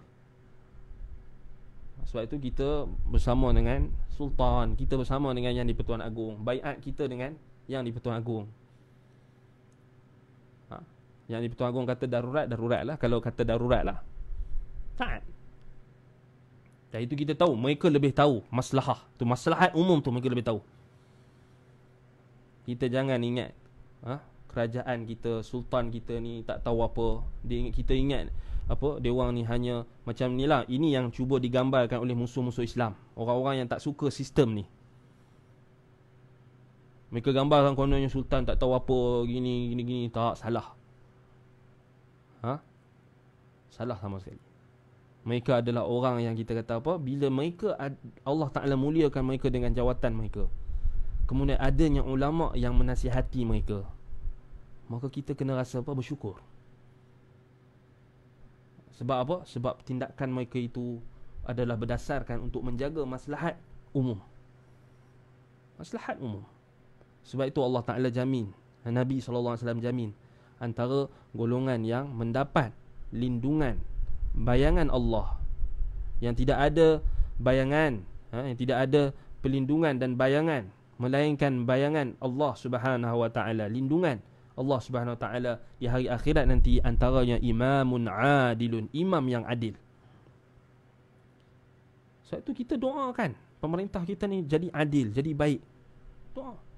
Bukan kita asyik cakap benda yang tak patut. Semua negatif. Doakan yang baik-baik. Dan kita akan dapat yang baik. Bila kita doakan kebaikan pemerintah, kebaikan itu akan mengalir untuk semua rakyat. Bila kita doakan keburukan, kita cakap benda yang tak baik, semua yang negatif saja, itu yang kita akan dapat. Kita tak bersyukur. Sebab itu kata Syekh Uthaymin, kita kena tengok. Kita kena jaga diri kita. Sebab kita tak diperintahkan untuk tahu apa segala tafsilan, segala perincian apa yang pemerintah buat. Itu tanggungjawab mereka. Kita tak diperintahkan untuk tahu setiap benda yang mereka buat. Yang kita diperintahkan adalah untuk taat kepada pemerintah pada perkara yang ma'ruf. Apa yang mereka perintahkan selagi ma'ruf maka kita ikut. Baik. Wa an ya'rifal awaqiba dan hendaklah dia mengetahui akibat. Sebab, sebab itu kita dalam dalam fiqh ini ulama tekankan kita kena tahu tentang sesuatu perkara kita kena tahu kita kena tahu takdir. Maksudnya kita kena tahu ukuran apa kita nak ukur maslahat, mafsadah, kita kena tahu. Maksudnya kita kena gunakan akal yang Allah Taala bagi ni, tengok. Tengok apa yang berlaku sekarang. Kalau uh, kerajaan tidak stabil, macam mana dia nak menstabilkan keadaan yang ada sekarang? Kalau kita duduk pakat bergaduh. Cuba fikir. Orang politik. Kalau dia duduk berebut-berebut kerusi sekarang ni, apa apa dia punya natijah dia dia kena ukur ukuran itu dia kena tengok juga apa awakib tadi akibat jangan tengok oh, aku aku aku hero aku yang akan ah, jangan macam tu itu pentingkan diri. Kena tengok. Akibat. Syekh Uthaymin kata wa an ya'rifal awaqiba. Kena tahu apa akibat. Apa akibat yang buruk yang boleh berlaku kalau kita tak mentaati pemerintah. Dan kita menimbulkan kebencian menanamkan kebencian dalam dalam hati rakyat terhadap pemerintah. Impak ni sangat dahsyat. Yang ni orang-orang orang bukan Islam orang yang musuh-musuh Islam. Ha yang mereka cuba untuk hasut supaya orang Islam tak taat pada pemerintah mereka supaya memberontak supaya membenci, supaya menghasut, supaya buat perkara-perkara yang kita kata apa yang boleh menatijahkan kemudaratan. Wal yu'lam anna man yathuru innama yakhdimu a'da' al-Islam. Kata Syekh Uthaymin lagi, maka ketahuilah dan diketahuilah ataupun ketahuilah bahawasanya barang siapa yang menimbulkan provokasi yang menghasut yathur yang nak menimbulkan thawrah yang menimbulkan revolusi yang memberontak innama yakhdimu a'da al-islam sebenarnya sesungguhnya ataupun hanya sahaja mereka ini perbuatan mereka itu sebenarnya hanyalah mereka berkhidmat untuk musuh-musuh Islam Maksudnya kalau kita duk maki pemerintah, duk datangkan buruk sangka kepada pemerintah, sultan kita, ha, Perdana Menteri kita dan sebagainya. Kemudian kita timbulkan kebencian Hasut menghasut. Kemudian uh, sebarkan provokasi dan sebagainya. Hakikatnya kita bukan berkhidmat untuk negara. Kata Syekh Uthamin Hakikatnya kita berkhidmat untuk musuh-musuh Islam. Bukan berkhidmat untuk Islam. Berkhidmat kita adalah apa? Kaldai tunggangan musuh-musuh Islam Dan itu terbukti dalam lipatan sejarah Bagaimana pemberontakan yang berlaku pada zaman Uthman ibn Affan radhiyallahu anhu. Bagaimana berlaku pemberontakan? Iaitulah Abdullah bin Sabah al-Yahudi dia telah menggunakan kejahilan orang-orang yang jahil. Orang-orang yang jahil ni dia telah hasut atas nama amal ma'ruf dan nahi munkar. Dia hasut dan akhir sekali membawa kepada tertumpahnya darah khalifah Islam. Ha? Yang ketiga, Amirul Mukminin Uthman ibn Affan radhiyallahu anhu ardah. Cuma tengok kesan dia Impak Akibat Sebab itu orang yang hasut orang ramai supaya tak ikut SOP Hasut orang ramai supaya uh, Merendahkan kedudukan pemerintah dan sebagainya Maka itu apa Hakikatnya dia adalah orang yang berkhidmat untuk musuh-musuh Islam Ini kata Syekh Uthamin Bukan anak kata kan? Baik Kata Syekh Uthamin lagi Falaisatil ibratu Bithawrati wala bilinfi'al Balil ibratu bil hikmah ibrah sesuatu perkara tu kita bukan boleh ukur dengan sejauh mana hebatnya kita bercakap kita mengkritik pemerintah oh tengok ramainya orang buat demonstrasi ni thaurah kemudian ramainya orang orang apa nak memberontak kemudian ramainya orang macam oh tengok tu tengok kita punya perjuangan gini gini gini kebanyakannya orang-orang muda sekarang yang semangat semangat.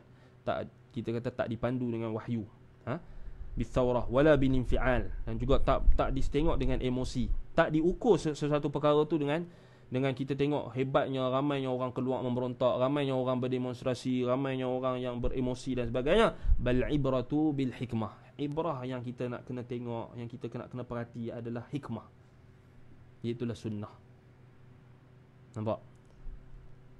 Baik wa rahimallahu sahl bin abdullah at-tustari tadi perkataan Syekh Uthaymin tu ha intaha ha kalamuhu. Selesai dekat situ. Ha, disebutkan oleh Syekh Muhammad bin Saleh Al-Utsaimin ha, di dalam um, uh, majmuah ha, uh, khutbah beliau. Itulah berkenaan dengan huququr ra'i wal ra'iyah ha, dalam himpunan khutbah-khutbah Syekh Utsaimin ha. baik uh, dan semoga Allah merahmati Sahal ibnu Abdullah tengok kita nak tengok perkataan salaf sebab hari ni kita kalau kita tengok-tengok Facebook ni kita sakit hati tengok tengok Twitter sakit hati orang politik lah So kita tak takkan dapat uh, menambahkan iman. Ha? Sebab tu kita kena menuntut ilmu. Ha? Dengan menuntut ilmu tu kita akan dengar perkataan salaf. Kita akan dengar perkataan ulama. So bila kita dengar perkataan ulama, sebelum tu kita dengar kalamullah, kita dengar al-Quran, kita dengar hadis-hadis Nabi, kita dengar perkataan ulama salaf, dia akan menimbul menatijahkan keamanan, ketenteraman, as-sakinah. Majtama'a qaumun fi baitin min buyutillah. Ha? Yatluna kitab Allah wa yatadarasunahu bainahum illa nazalat alaihim as-sakinah. وغشيت هم الرحمة وحفت هم الملائكة وذكر الله في من عنده. Maksudnya bila kita dengar majlis ilmu Kita duduk dalam majlis ilmu Yang akan turun adalah sakinah Ketenangan. Tapi kalau kita dengar hasutan Kita dengar orang buat, buat provokasi Kita dengar orang buat fitnah kepada pemerintah Itu itu takkan membawa ketenangan. Dia akan menyempitkan dada. Dia akan menyempitkan hati. Ha? Dia hanya akan menimbulkan lagi kemarahan. Dia akan syaitan akan me, me, me, me, me, me, mengintai peluang mencari ruang untuk menambahkan lagi api kemarahan. Untuk tuangkan lagi minyak-minyak yang boleh membakar hati-hati orang yang nak memberontak. Berbeza. Tetapi kalau kita dengar majlis ilmu, kita dengar Al-Quran, As-Sunnah, perkataan ulama salaf, hati yang nak memberontak tadi itu akan di apa? Akan dipadamkan. Api yang ada dalam hati yang nak memberontak tu dipadamkan dengan ayat-ayat Quran. Yang sejuk. Ini umpama ibarat. Ha? Ayat Quran dengan hadis kata-kata ulama ni dia menyejukkan. Walaupun kita duduk tengah panas ni, dia menyejukkan hati tenteram kita dengar perkataan Syekh Uthaymin tadi. Tapi kalau kita dengar perkataan bukan ulama memang tengok pun tahu. Serabut. Serabut tengok kan serabut. Kan? Kata Sahal bin Abdullah At-Tustari dia kata apa? La yazalun nasu bi khairin ma 'azzamu sultan wal ulama. Sentiasalah manusia itu dalam keadaan kebaikan selagi mana mereka menghormati dan mengagungkan sultan dan ulama manusia akan baik selagi mana mereka menghormati sultan mereka dan ulama mereka. Ma'azzamu sultan wal ulama. Manusia akan baik la yazalun nas sentiasa akan dalam berada dalam kebaikan la yazalun nasu bi khairin ma'azzamu sultan wal ulama. Selagi mana mereka menghormati, mengagungkan, menghormati sultan dan juga ulama. In 'azzamu hadaini aslahallahu dunyahum wa ukhrahum kalau mereka mengagungkan kedua makhluk Allah yang bernama sultan dan juga ulama pemerintah dan juga ulama. Kalau mereka memuliakan ulama dan sultan mereka menghormati ulama dan sultan. Aslahallahu dunyahum wa ukhrahum Allah akan memperbaiki dunia mereka urusan dunia mereka dan urusan akhirat mereka. Wa in istakhaffu bihadzaini afsadu dunyahum wa ukhrahum bila mereka mula merendahkan menghina mencela tidak menghormati sultan dan ulama. Kedua ini. Afsadu dunyahum wa, wa ukhrahum tengok Sahal ibn Abdullah dia tak kata Allah. Yang kedua dia tak kata Allah memperbaiki. Tapi dia kata apa? Afsadu dunyahum wa mereka akan merosakkan urusan dunia mereka dan akhirat mereka Siapa boleh jamin kalau kita tukar pemerintah sekarang keadaan akan jadi lebih baik? Siapa boleh confirm? Orang politik tak boleh confirm. Orang politik pun dia dia pun tak tahu. Siapa boleh confirm? Kalau kita tukar pemerintah tu semua keadaan akan jadi jadi jadi lebih baik. Tak. Boleh jadi lebih buruk. Boleh jadi lebih buruk. Alhamdulillah kita tak ada mati ke bulu pun sekarang ni. Alhamdulillah. Aman. Kita boleh keluar lagi. Walaupun tak boleh keluar merentah daerah dan sebagainya, boleh pergi kedai lagi. Beli barang. Alhamdulillah. Ha? Masih lagi uh, perniagaan masih lagi berjalan alhamdulillah. Siapa boleh jamin kalau kita tukar pemerintah tu akan jadi lebih baik? Siapa aja? Tak boleh. Sebab itu kata Sahal bin Abdullah ni kata betul. Kalau kita jaga sultan dan ulama, kita hormati mereka. Kita mengagungkan mereka. Allah akan memperbaiki urusan dunia kita dan akhirat kita. Janji. Allah akan memperbaiki. Tapi kalau kita tak sabar, kita nak memberontak, kita menghina pemerintah kita, menghina ulama, afsadu dunyahum wa ukhrahum mereka akan merosakkan urusan dunia mereka dan akhirat mereka. Allah tak rosakkan, mereka yang rosakkan. Kerana mereka pilih jalan tu. Yang tadi yang kebaikan tengok, Sahal bin Abdullah dia kata Allah yang bagi. Allah yang akan perbaiki. Tapi sebab yang kedua, sebab mereka pilih jalan mereka sendiri. Mereka tak ikut jalan Allah. Mereka nak tukar pemerintah. Mereka nak memberontak pada pemerintah. Kerana mereka kata ini jalan kami. Mereka pilih jalan mereka mereka pilih jalan mereka sendiri maka Allah biarkan mereka sesat dengan jalan mereka sendiri. Sebab itu uh, Sahal bin Abdullah kata apa? Afsadu dunyahum wa ukhrahum. Mereka sendiri yang akan merosakkan urusan dunia mereka dan akhirat mereka. Dunia rosak, akhirat pun rosak. Dapat apa? Cuba tengok negara-negara yang berperang. Negara-negara yang bergolak. Pun dapat apa? Ana jumpa sahabat ana yang datang meniaga daripada Yaman. Sedih. Dia, dia cerita kat kita. Dia cerita kat kita. Dan kita cuba kita dengar Ulama-ulama ulas Isu Kenaan dengan dulu Bila memberontak pada pemerintah ni. Semua menyesal. Orang yang dulu memberontak pada apa? Saddam Hussein Dia menyesal. Dia kata kalau lah Saddam Hussein hidup lagi. Orang yang memberontak pada siapa? Memberontak pada Apa dia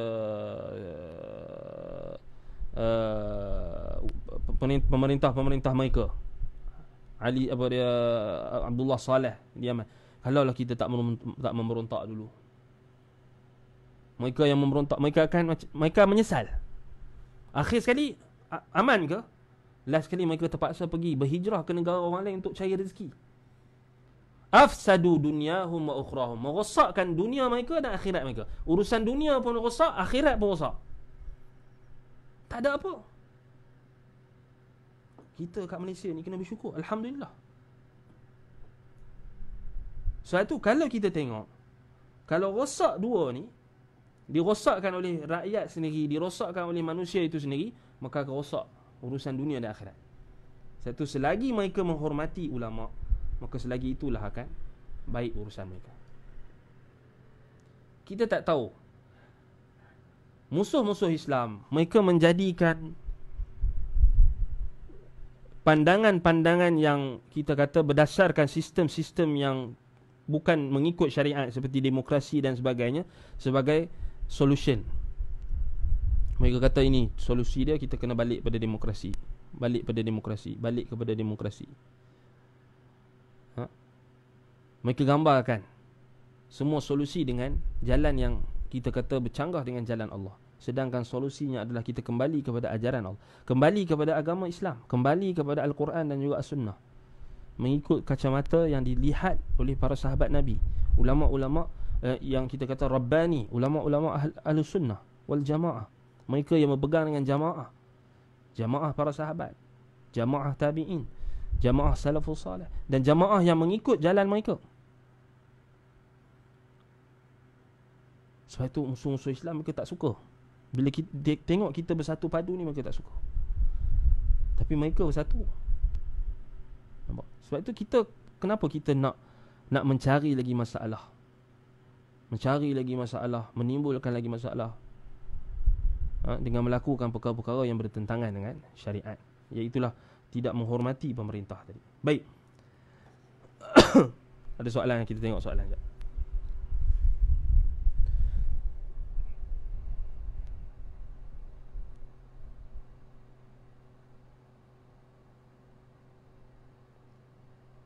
Mustahil. Ramai. Soalan. Hilang pula.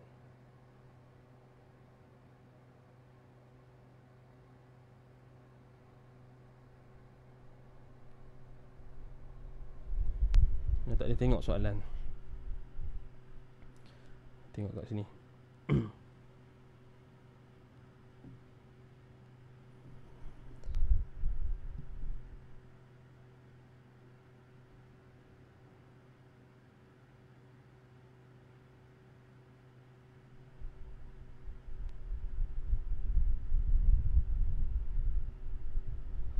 Baik, soalan uh,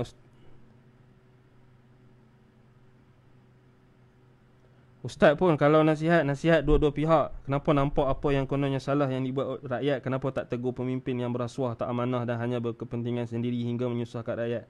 La bila pula nak bila pula nak berpeluru-peluru pula ni? Bias atau berat sebelah ni yang tak sihat? Bersikap adil tu kan tuntut, tuntut, tuntutan walau tak mampu sepenuhnya. Baik sebab tu kita kena faham. Ha? Uh, uh, Ana suka Ana nak bawa perkataan uh, Guru kami Syekh Saleh Al-Uthaymin Atau uh, Syekh Saleh Al-Uthaymi Hafizahullah. Dia kata apa? Apa apa tanggungjawab ulama? Baik ulama Dia adalah orang yang menjadi pengawas.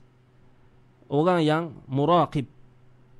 Orang yang dia menjadi uh, Dia sentiasa mengawasi Dua pihak sama ada pemerintah atau rakyat.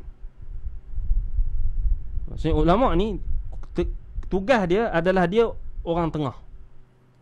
Dia menasihatkan pemerintah supaya berlaku adil kepada rakyat. Memastikan pemerintah melaksanakan hak-hak mereka terhadap rakyat. Dia nasihat. Dan satu lagi dia juga menas dia adalah juru nasihat kepada rakyat supaya tidak melampaui batas dan menjaga hak-hak mereka sebagai rakyat.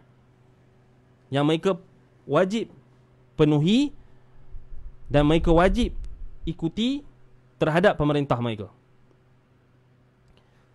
Dan kedudukan ulama ni dia bukan juru cakap mana-mana pihak. Dia bukan juru cakap uh, pemerintah, dia juga bukan juru cakap rakyat.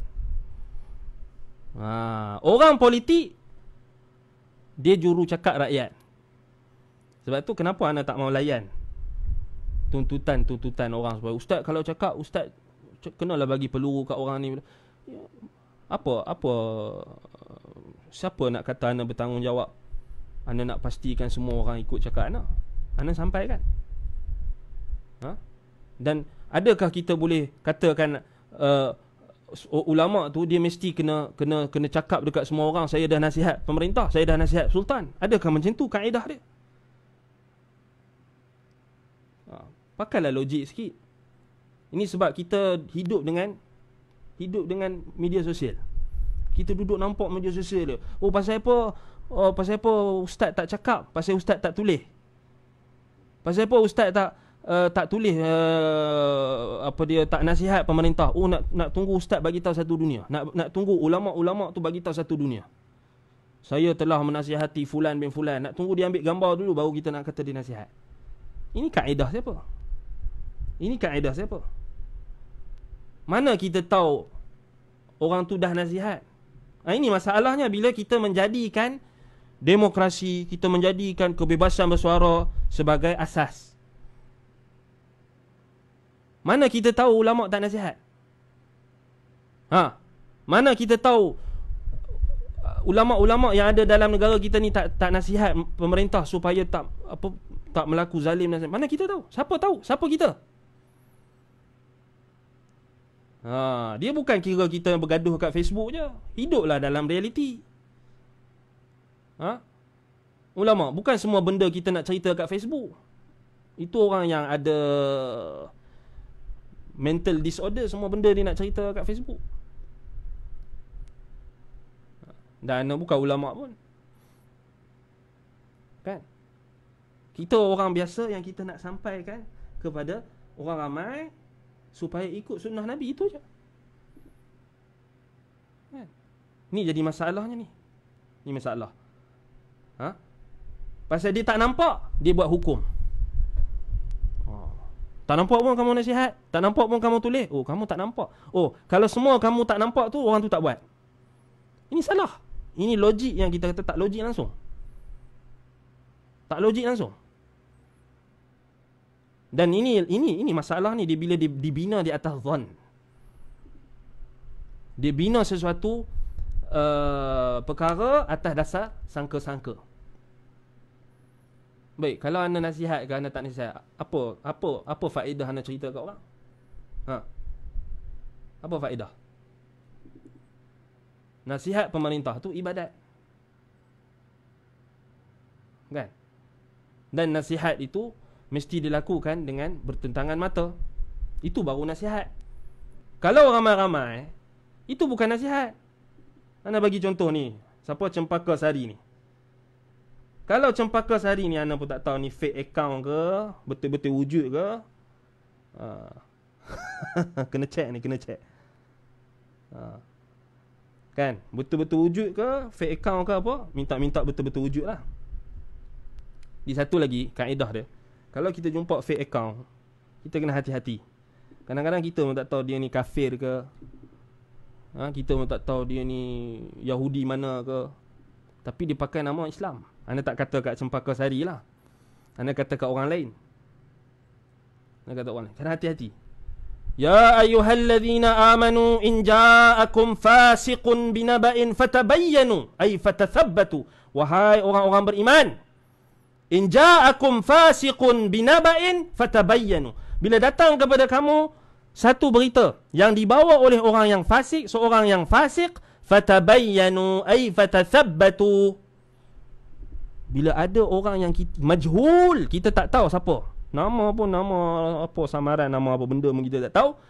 Bawa berita, bawa uh, satu uh, assumption, bawa satu tuduhan, bawa satu perkara yang negatif Jangan terus percaya. Fasiqun binaba'in ja'akum fasiqun binaba'in fatabayyanu. Ai fatathabatu. Cek. Cek dulu. Ini masalah juga. Ana ana rasa kita kena buat satu bengkel kot macam mana cara menggunakan media sosial dengan betul. Mungkin macam tu kot. Sebab ramai orang kita ni fail dalam guna media sosial. Dia tak tahu. Dia tak boleh beza mana orang yang dia orang yang kenal dan mana orang yang dia tak kenal. Dia main pakai dia pakai ambil je. Asal dia nampak tulisan tu cantik dia ambil dia share. Dia pun tak tahu orang tu account orang yang di sebalik account tu adalah orang orang mana ke orang Yahudi mana ke orang kafir mana ke orang jahat mana ke. dia pun tak tahu. Selalunya ni ni orang-orang orang-orang yang ni dia ada dia ada ya. Dia duduk tunggu-tunggu dia duduk cari kelemahan kita. Anda tak katalah kat Cempaka Sari ni Tapi kalau kalau dia dia betul-betul fake tak apalah kita kata ha. kan? Dia nak suruh kita cakap benda yang kononnya faham. Mana faham soalan dia. Soalan dia kenapa kenapa ulama ni hanya cakap pasal rakyat dia? Tak cakap pasal kita faham tak bukan semua benda kita tahu.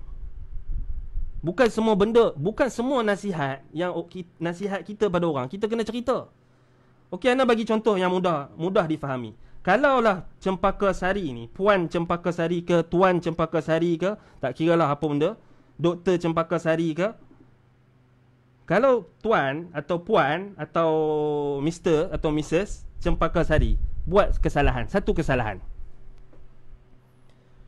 Kemudian ana tak nasihat, ana tak ana tak PM dia. Ana terus share kesalahan dia. Kemudian ana kata ini ana nasihat dia. Apa perasaan Cempaka Sari? Kalau dia ada perasaan, dia dia akan akui benda ni tak bagus. Tapi kalau dia tak ada perasaan, kita tak boleh kata apa. Ha. Kita buat salah, lepas tu ada orang kita, kita buat salah. Orang pergi cakap dekat orang ramai kesalahan kita. Apa perasaan kita? Kita akan cakap kan, kenapa engkau tak panggil jumpa aku one by one? Kenapa engkau tak mai ketuk pintu rumah aku cakap dulu? Kenapa? Betul tak? Macam itulah juga perasaan pemerintah. Wahai puan, cik, cempaka sadi, tuan, datuk apa benda semualah, datuk seri ke apa, tak kira lah. Fahamlah. Dia pula nasihat, nak nasihat kita. Allahu musta'an. Kan? Soalan ni soalan yang Anda cakap soalan ni soalan yang Dia sebenarnya apa? Soalan yang tahakum Soalan dia nak menghukum orang Dia bukan soalan nak ilmu Siapa yang nak tengok soalan yang tidak baik Tengoklah soalan cempaka sari ni. Soalan yang bukan soalan yang Datang daripada penuntut ilmu. Kalau orang yang menuntut ilmu Dia takkan datang soalan macam ni. Sebab tu kena mengaji lagi. Menuntut ilmu. Jangan duduk main Facebook saja. Main Facebook Kalau dengar betul-betul tak apa. Tapi dia nak cari kesalahan orang Jangan. Ha. Mana kita tahu? Ulama' tu dah nasihat kita tak diperintah untuk korek semua isi hati manusia ni. Ni masalah bila kita duduk ha, duduk dalam dunia kita saja. Kita tak nampak orang tu post, oh dia tak buat kerja. Kita, nampak orang tu punya gambar, dia tak buat kerja. Bukan semua benda nak kena cerita kat Facebook. Bijaklah sikit. Ha. Baik. Ana kalau ana nampak soalan tu soalan yang provoke Bila pula nak berpeluru-peluru ni? Bila pula nak berpeluru-peluru pula ni? Bias atau berat sebelah ni yang tak sihat. Bersikap adil tu kan tuntutan walau tak mampu sepenuhnya. Ya, kena berlaku adil jugalah. Bila kita komen dekat tempat orang, bila kita komen dekat orang tempat orang, majlis orang, berlaku adil. Janganlah anggap macam kita ni kita kita dah tahu. Kita menghukum orang. Ni menghukumlah di hukum mana anda tak nasihat? Anda tak cakap pula uh, tentang kebobrokan pemerintah. Baik siapa? Siapa? Siapa anda nak cakap? Kalau anda cakap ke tak cakap tak ada bagi kesan pun. Satu. Satu lagi. Nak nasihat pemerintah tu bukan macam yang kita faham sekarang. Kalau ikut sistem yang kita faham sekarang bukan bukan nasihat tu itu tashhir wa wa ihana menghina Tuan nak bagi contoh yang mudah nak faham tadi. Kalau dia buat salah. Kalau cempaka sehari buat salah. Orang ramai. Kesalahan tu orang ramai post. Apa perasaan cempaka sehari? Apa perasaan? Semua orang takkan takkan setuju. Bila kita buat salah.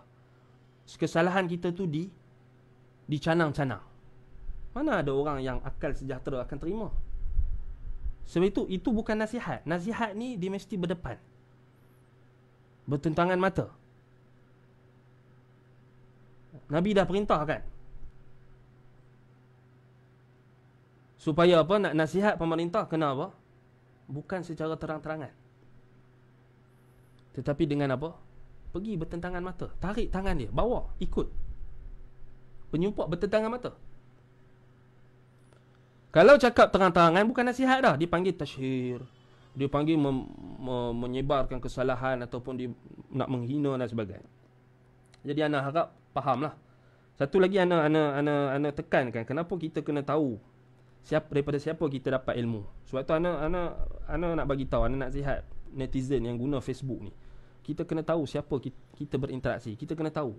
Kadang-kadang kita sebab ana bukan nak tuduh siapa-siapa fake account ke apa tapi berlaku banyak, banyak berlaku. Fake account ni adalah kadang-kadang kita pun tak tahu. Orang munafik mana, orang orang orang yang jahat, scammer macam itulah macam scammer tapi dia cuba nak bawa nak datang ke syubhat baik Ustaz, apakah nasihatnya pada orang awam agar tidak merosakkan negara dan orang-orang yang sentiasa nak merebutkan kedudukan tentang keamanan ini? Baik, nasihat ana ittaqullah. Nasihat sama macam Syekh Uthaymin tadi. Bertakwa kepada Allah. Bertakwa kepada Allah. Ha? Dan tengok diri kita, tengok diri kita. Tengok apa yang kita buat, apa yang kita contribute untuk negara. Kita sibuk tengok pemerintah buat apa? Apa kita buat untuk negara? Apa kita buat untuk kita majukan iman kita? Apa yang kita buat untuk kita tambahkan ilmu kita? Untuk kita majukan, untuk kita tambahkan iman dan amal kita? Apa kita buat? Semua balik. Balik pada kita lihat muhasabah diri. Baik. Jadi anda minta maaf lah kalau dekat cempaka sari anda minta maaf balik kalau anda tinggi suara ataupun kasar sikit. Ana memang macam itulah. Ana ana kalau ana baca soalan tu ana boleh tahu dia punya nada. ana rasa kita boleh faham nada tu. Uh, so sebab tu ana uh, ana kata tadi uh, benda ni kita kena faham. Kan? Sebab tu kita bila kita tanya soalan kat orang, kita jangan tanya soalan nak provoke. Itu pun kena jaga adab. Kan? Ha, kita kita dalam majlis ilmu, kita kena hormat majlis orang. Kan? Bukannya kita dekat post-post uh, politik politician post-post. Ini satu, lagi masalah bila kita tak tak belajar macam mana adab menuntut ilmu. Adab nak bertanya soalan. Sebab tu anda nampak soalan ni adalah soalan tahakum soalan tahakum. Soalan yang dia nak menghina soalan yang dia nak dia nak mengangkat diri dia sendiri. Walaupun anda tahu anda anda pun ha, apa dia bukanlah orang yang uh, sempurna Nah, kita semua ada kelemahan, kita semua ni bukan sempurna, yang sempurna Allah Taala saja. Tapi macam tu soalan tu sepatutnya tak di tak tak ditujukan. Bukan anda saja, bukan pada anda saja pada ustaz-ustaz lain pun. Jangan ah. Maksudnya seakan-akan dia nak provoke. Nak suruh kita apa? Oh, cakaplah juga pasal kejahatan pemerintah. So kita tahu. Kita tahu siak. Apa maksud? Berdasarkan siak. Siak ayat tu. Tak percaya cuba cuba baca betul-betul. Sebab itu anda nasihatkan kepada cempaka sari ini, ini contoh, ha? contoh yang uh, uh, kita kata apa nasihat untuk orang awam. Ini contoh. Jangan sibuk dengan Facebook saja, menuntut ilmu, ha? Jangan uh, datangkan soalan-soalan yang provoke, ha? Ni nak provoke sebenarnya. Anda tahu soalan ni nak provoke nah. Tapi anda tak termakan dengan provokasi itu. Anda akan terus mengajak orang supaya mentaati pemerintah. Sebab sekarang ni, realiti sekarang, Cuba tengok. Ya, Ni bagus juga. Soalan cempaka sari ni bagus juga. Dia ada di bawah ilmu jugalah. Walaupun dia ada sedikit Macam provok tadi. Hadahumullah hada, Hadakumullah. Ya, Semoga Allah bagi petunjuk kepada kita dan mereka semua. Baik. Cuba kita tengok situasi kita Sekarang. Anda nak ajak cempaka sari dan semua penonton. Cuba fikir Baik dalam situasi Yang Keamanan dan ketakutan ni dia kebimbangan rakyat kemudian dalam keadaan pandemik orang takut kemudian ekonomi pun tak menentu ada orang yang dibuang kerja ada orang yang dia dia bisnes pun jatuh macam-macam. Kita kita reality ni reality anda cakap base pada reality bukan dekat Facebook saja. Jangan hidup dalam dalam dunia Facebook saja dalam dunia media sosial. Tengok reality dalam keadaan yang macam ni adakah sesuai kita sibukkan diri dengan kita sebut sesuatu yang uh, apa kezaliman pemerintah yang kita pun tak pasti. Kita yang, yang kita tak pasti. Tahu yang kita tak pasti. Yang kita tak pasti. Masalahnya kebanyakan berita-berita benda yang tak pasti. Orang tu baru naik mahkamah kita dah hukum. Netizen dah hukum. Baru dituduh dah dihukum nampak? Itu dia punya tabiat.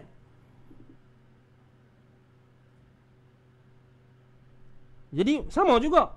Ustaz tu tak cakap lagi dah dihukum. Dia tak dengar lagi dia, dia dah di, dihukum. Dia dah menghukum. Sama juga. Jadi apa faedah kita sebar benda yang kita tak pasti? Orang tu rasuah, orang tu benda tu tak pasti. Dan kalau ada pemerintah yang rasuah, kita pun sebut. Macam mana macam mana dia boleh tuduh orang tu ataupun ulama tu tak nasihat? Dia dah dia dah dia dah tengok ke semua ceramah-ceramah ustaz tu? Kan? Siapa yang uh, follow ana kita mengajak Quran hadis, kita akan sampai bila kita baca hadis-hadis Nabi yang mentahzir kezaliman pemerintah. Kita akan sampai. Nanti kita suruh Baitul Salam buat. Suruh Baitul Salam buat satu tajuk. Ha. Rasuah, bahaya rasuah. Ha, boleh. Ini sekarang kita bincang pasal apa? Mentaati pemerintah. Kenalah, kenalah ikut konteks. Dia tak faham konteks. Tajuk pun manhaj ahli sunnah dalam mentaati pemerintah dan menasihati pemerintah. Takkanlah nak cerita pasal rasuah. Tengok dia dia pun pening. dia pun pening kan. Ha tu nasihat nah, kena ikut betul-betul. Kalau menuntut ilmu tu ikut betul-betul, faham tajuk tu. Duduk tu jangan tergesa-gesa. Nak bagi nak type soalan tu tengok dulu. Tengok dulu yang awal. Ustaz ustaz cakap apa? Orang tu cakap apa? Apa tajuk dia? Faham. Jangan tergesa-gesa. Ni pasal tergesa-gesa dia, kata kenapa uh, tak bias berat sebelah. Macam mana macam mana dia tahu orang tu berat sebelah? Kita tak dengar lagi apa yang dia cakap. Baru dengar separuh dah dah dah hukum. Dah tuduh. Ini masalah orang kita. Dia tak dengar habis pun. Dia cepat hukum. Contoh terbaik daripada yang bertanya ni cempaka sari ha, semua ada dekat dia semoga Allah Taala bagi hidayah baik Ha, lepas ni dengar betul-betul, dengar betul-betul. Tengok tajuk, ikut tajuk, ikut konteks tajuk. Dah orang buat ceramah tajuk tu, mestilah dia tak sebut benda yang kita nak lagi. Nanti kalau buat tajuk yang betul-betul cerita pasal rasuah, ha, dengarlah. Tu anda cakap uh, kat Baitul Salam. Baitul Salam nanti buat. Buat. Panggil Ustaz Sunnah kita, cerita pasal rasuah, bahaya rasuah. Okey, jemput ni, Cempaka Sari ni. Orang first dia kena tengok. Kan? Ha, dia kena tengok. Ha, kena faham lah konteks. Baik. Dah lah tak, tak, tak mau layan soalan tadi. Cukup juga kan? Kerana kebanyakan orang awam ini terpengaruh dengan kata-kata manis dari wakil-wakil yang nak rebut jawatan ini. Inilah sebabnya. Sebab kita tak tahu ha, daripada siapa kita ambil ilmu. Kita tak tahu manhaj dalam menuntut ilmu. Asal orang tu pandai cakap, asal tu orang banyak pengikut, kita terus ambil. Ha? Kadang-kadang kita pun tak kenal. Majhulul ain, majhulul hal. Bagaimana nak tahu seseorang itu dikira ulama yang mahu negara ini aman sesetengah keadaan sebaliknya pada masa-masa tertentu? Bagaimana nak tahu seseorang itu dikira ulama yang mahu negara ini aman sesetengah keadaan sesetengah-setengah keadaan sebaliknya pada masa-masa tertentu? Soalan ni kurang faham. Bagaimana nak tahu seseorang itu dikira ulama? Baik ulama ni apa takrif ulama? Allah kata dalam Quran innama yakhshallaha min ibadihi ulama. So syarat ulama ni dia mesti takutkan Allah. Khasyah, dia ada takut. Dia ada rasa takut kepada Allah. Khasyah maksudnya takut yang datang daripada ilmu. Bukan kerana dia takut orang kata, bukan kerana dia takut uh, netizen marah ke, netizen nak maki dia lagi ke, itu bukan ulama. Dia nak kira apa yang netizen cakap. Ha? Baru dia nak cakap. Tak, itu bukan ulama. Ulama ni dia dia kira apa yang Allah Taala perintahkan. Dia bukan juru cakap netizen, dia bukan juru cakap pemerintah. Kalau pemerintah tak betul pun dia akan nasihat. Macam mana dia nasihat? Dia pergi bertemu dengan pemerintah. Dia bukan bising dekat Facebook. Ha, itu kalau bising kat Facebook, dia maki pemerintah ke, dia kritik pemerintah kat Facebook tu. Bukan ciri-ciri ulama lah. Kecuali kalau kemungkaran yang dilakukan oleh ulama tu adalah kemungkaran yang dilakukan dengan terang-terangan atau disebarkan. Yang jelas. Ha, contohnya, ha, ni isu dia sekarang ni boleh tak kita kritik kesalahan pemerintah tu di khalayak ramai? Adakah tak boleh secara mutlak ataupun macam mana? Baik asalnya asal asalnya nasihat kepada pemerintah, tegur dengan pemerintah kepada pemerintah ni asalnya adalah berdepan. Itu asal. Hukumnya samalah maksudnya phone, ha, video call samalah, message, surat sama. asal. Ada pun mengkritik mereka di hadapan khalayak ramai maka itu bukan termasuk dalam uh, pengingkaran kemungkaran yang diizinkan. Maksudnya dia adalah kemungkaran yang digunakan untuk mengingkari kemungkaran. Tetapi kalau kemungkaran itu disebarkan dan ramai orang ramai orang menganggap kemungkaran itu sebagai kebenaran disebarkan oleh pemerintah maka waktu itu wajib bagi ulama mereka membantah secara terang-terangan kemungkaran tersebut dengan adab tanpa mereka menuduh ataupun mereka menjatuhkan haibah ulama tadi ataupun pemerintah tadi. Ini dilakukan oleh ulama-ulama ahli sunnah antaranya Syekh Abdul Muhsin Al-Abbad hafizahullah wa waffaqahullah. Syekh Abdul Muhsin Abbad bila dia tengok ada pemerintah-pemerintah ada menteri-menteri yang buat buat benda yang salah maka dia akan tulis artikel. Cuba tengok artikel Syekh Abad. Dia bukan kat situ dia tak maki hamun apa semua dia bagi tahu apa yang salah. Apa yang salah? Di bawah ayat Quran. Apa yang betul? So dia tak tak hasut. Ha, dia sebut nama. Menteri sekian sekian sekian ni sekian sekian ada kesalahan. Maksudnya dia salah dan sini sini. Itu tak jadi masalah. Kalau kesalahan itu memang betul-betul kesalahan lah. Sebab tu nak tahu kesalahan atau tak, nak tahu kemungkaran atau tak, bukan bukan netizen yang hukum.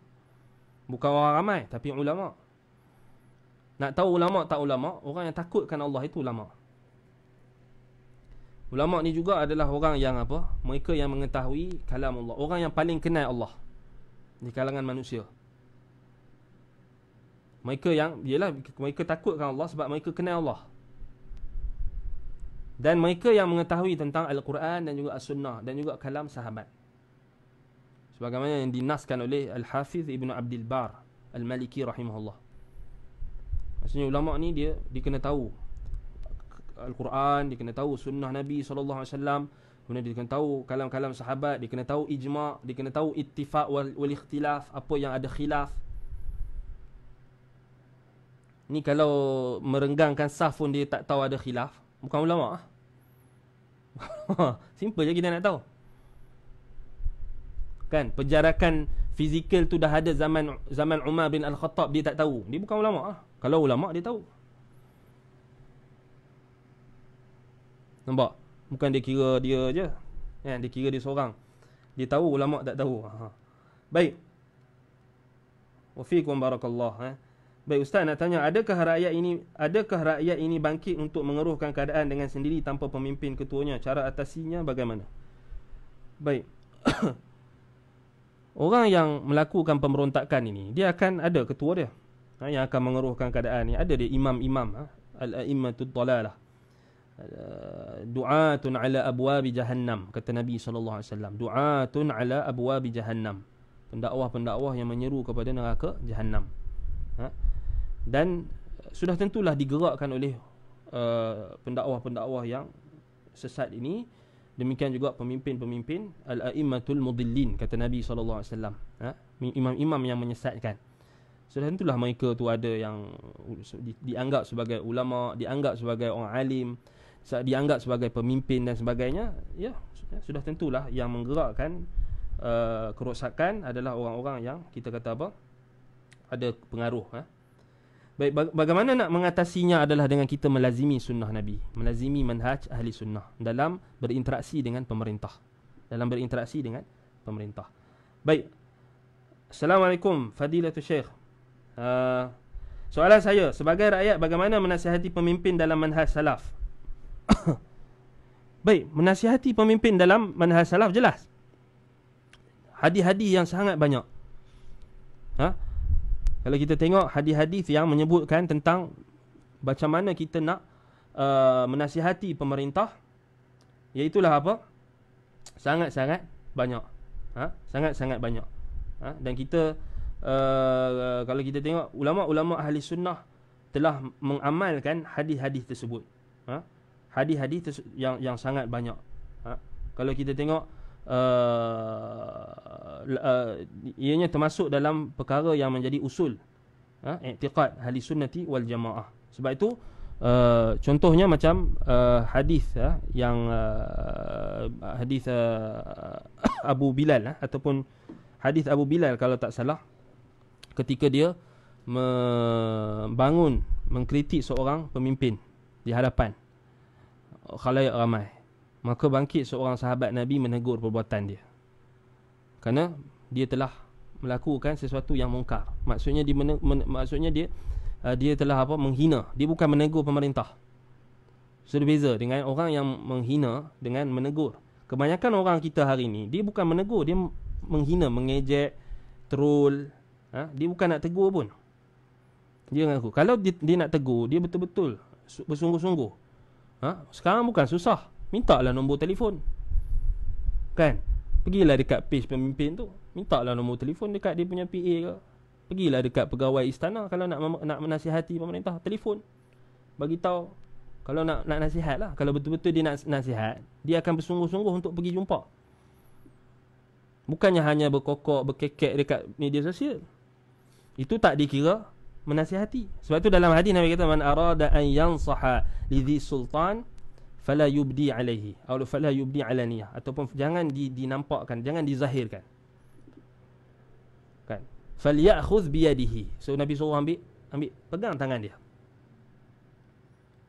Kemudian nasihati Di hadapan dia Sebab nasihat ni apa? Nasihat ni kita nakkan kebaikan Iradatul khair Iradatul khair Minan nasihi Lil mansuh Kita nakkan kebaikan itu melimpah Daripada orang yang menyampaikan nasihat Yang murni Sampai kepada orang yang dinasihati Kalau kita Depan-depan Di khalayak ramai Kemudian kita kutuk dia Kita sebarkan kesalahan dia, kita troll dia, kita hina dan maki dia. Bukan nasihat. Itu tashhir. Itu adalah perkara yang kita kata apa? Kita nak menyebarkan lagi keburukan.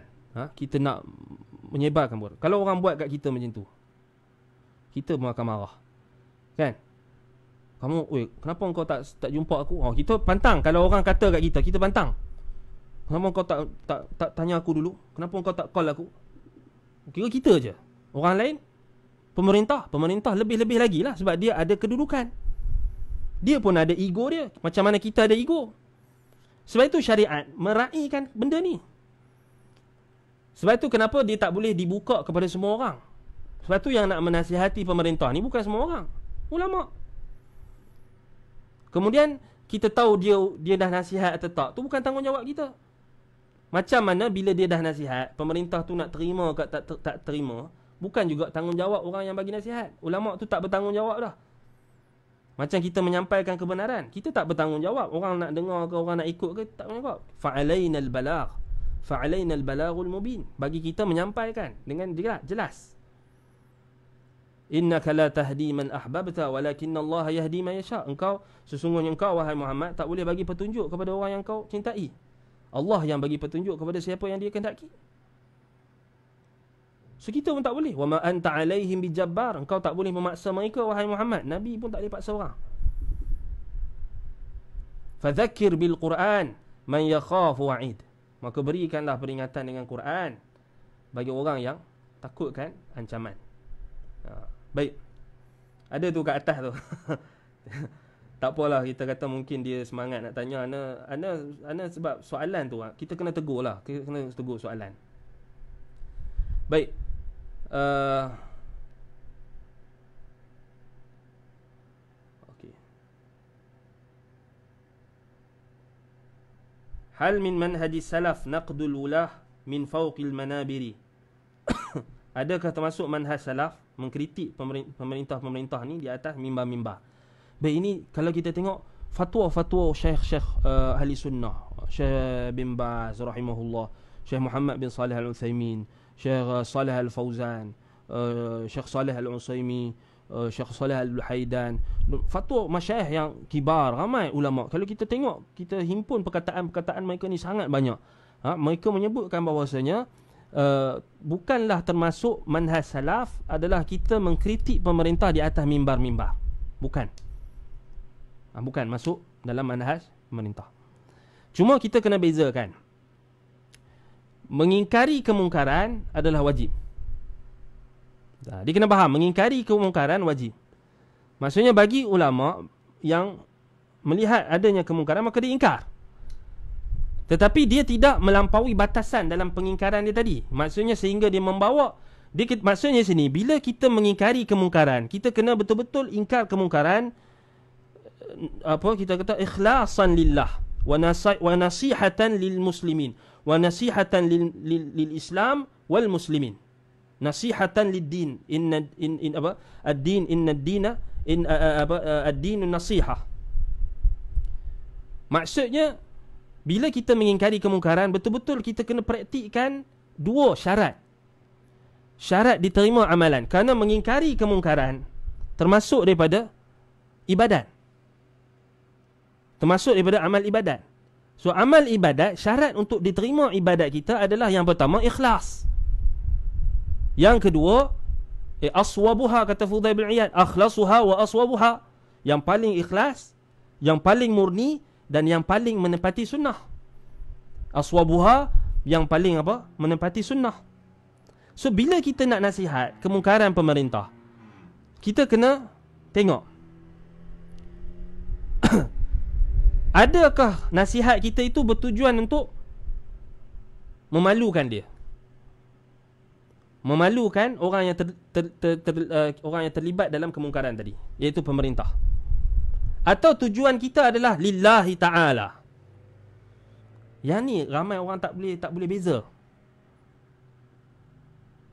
Adakah nasihat kita di atas mimbar? Sebab dia uh, Syekh Syekh uh, Fauzan, Syekh Fauzan hafizahullah wa faqahullah barakallahu fik. Ha, Syekhuna. Ha, lastu syekhukum, antum syekhuna. Baik. Ha, maksudnya apa? Nak rasa di, anta a'lamu minni. Engkau lebih apa mengetahui daripada aku kan. Baik. Uh, nak bagi tahu apa? Kena bezakan. Bezakan apa maksudnya? Apa apa niat? Apa tujuan kita kita nasihat tadi? Atas mimbar tadi, adakah tujuan kita nak hentam? Macam cempaka sari tadi peluru. Cempaka sari kata peluru. Adakah kita semata-mata nasihat pemerintah ni semata nak nak brrr, nak nak nak apa kita kata nak tembak dengan peluru? Bukan menasihati pemerintah bukan di, tak tak boleh kita umpamakan dengan peluru tadi. Ha. Menasihati pemerintah ni ibadat. Nak ingkar kemungkaran ibadat. Amar ma'ruf nahi munkar. Mesti kena ikut mesti kena ikhlas kerana Allah. Bukan kerana nak nak me, menyedapkan hati orang ramai. Tu beza. Cuba tengok, anda, anda nak, nak ajak kita tengok ulama-ulama ahli sunnah. Bila mereka menasihati pemerintah, mereka takkan sebut keburukan pemerintah di atas mimbar-mimbar. Itu adab. Tapi du'atul thawrah, al-thwar, du'a du'atul fitan, du'atul ala abwabi jahannam, ha, khawarij dan seangkatan dengannya, mereka tak ada manhaj ni, mereka tak takut Allah. Mereka takut Allah tapi mereka tak ikut jalan sunnah Nabi. Cara tak betul. Bila mereka berada di atas mimbar, mereka bukan nasihat. Walaupun mereka nampak nasihat tetapi kadang-kadang bila mereka tak meraihkan apa yang mereka katakan akan keluarlah kalimah-kalimah yang seakan-akan mengajak orang supaya apa? keluar memberontak atau tak menghormati pemerintah. Itu kebanyakannya. Dan ini berlaku zaman salaf. Contoh banyak. Sebab itu yang ni hanya sebab itu kita kata kenapa nasihat waliul am ni nasihat pemerintah ni hanya ulama saja. Bukan tanggung tanggungjawab semua, bukan netizen. Kita tak boleh ikut style demokrasi. Style demokrasi habis tak ada. Tak ada orang yang betul, semua salah belaka. Kan? Kita kena ikut cara Islam. Maksudnya nak nasihat pun ada adab dia.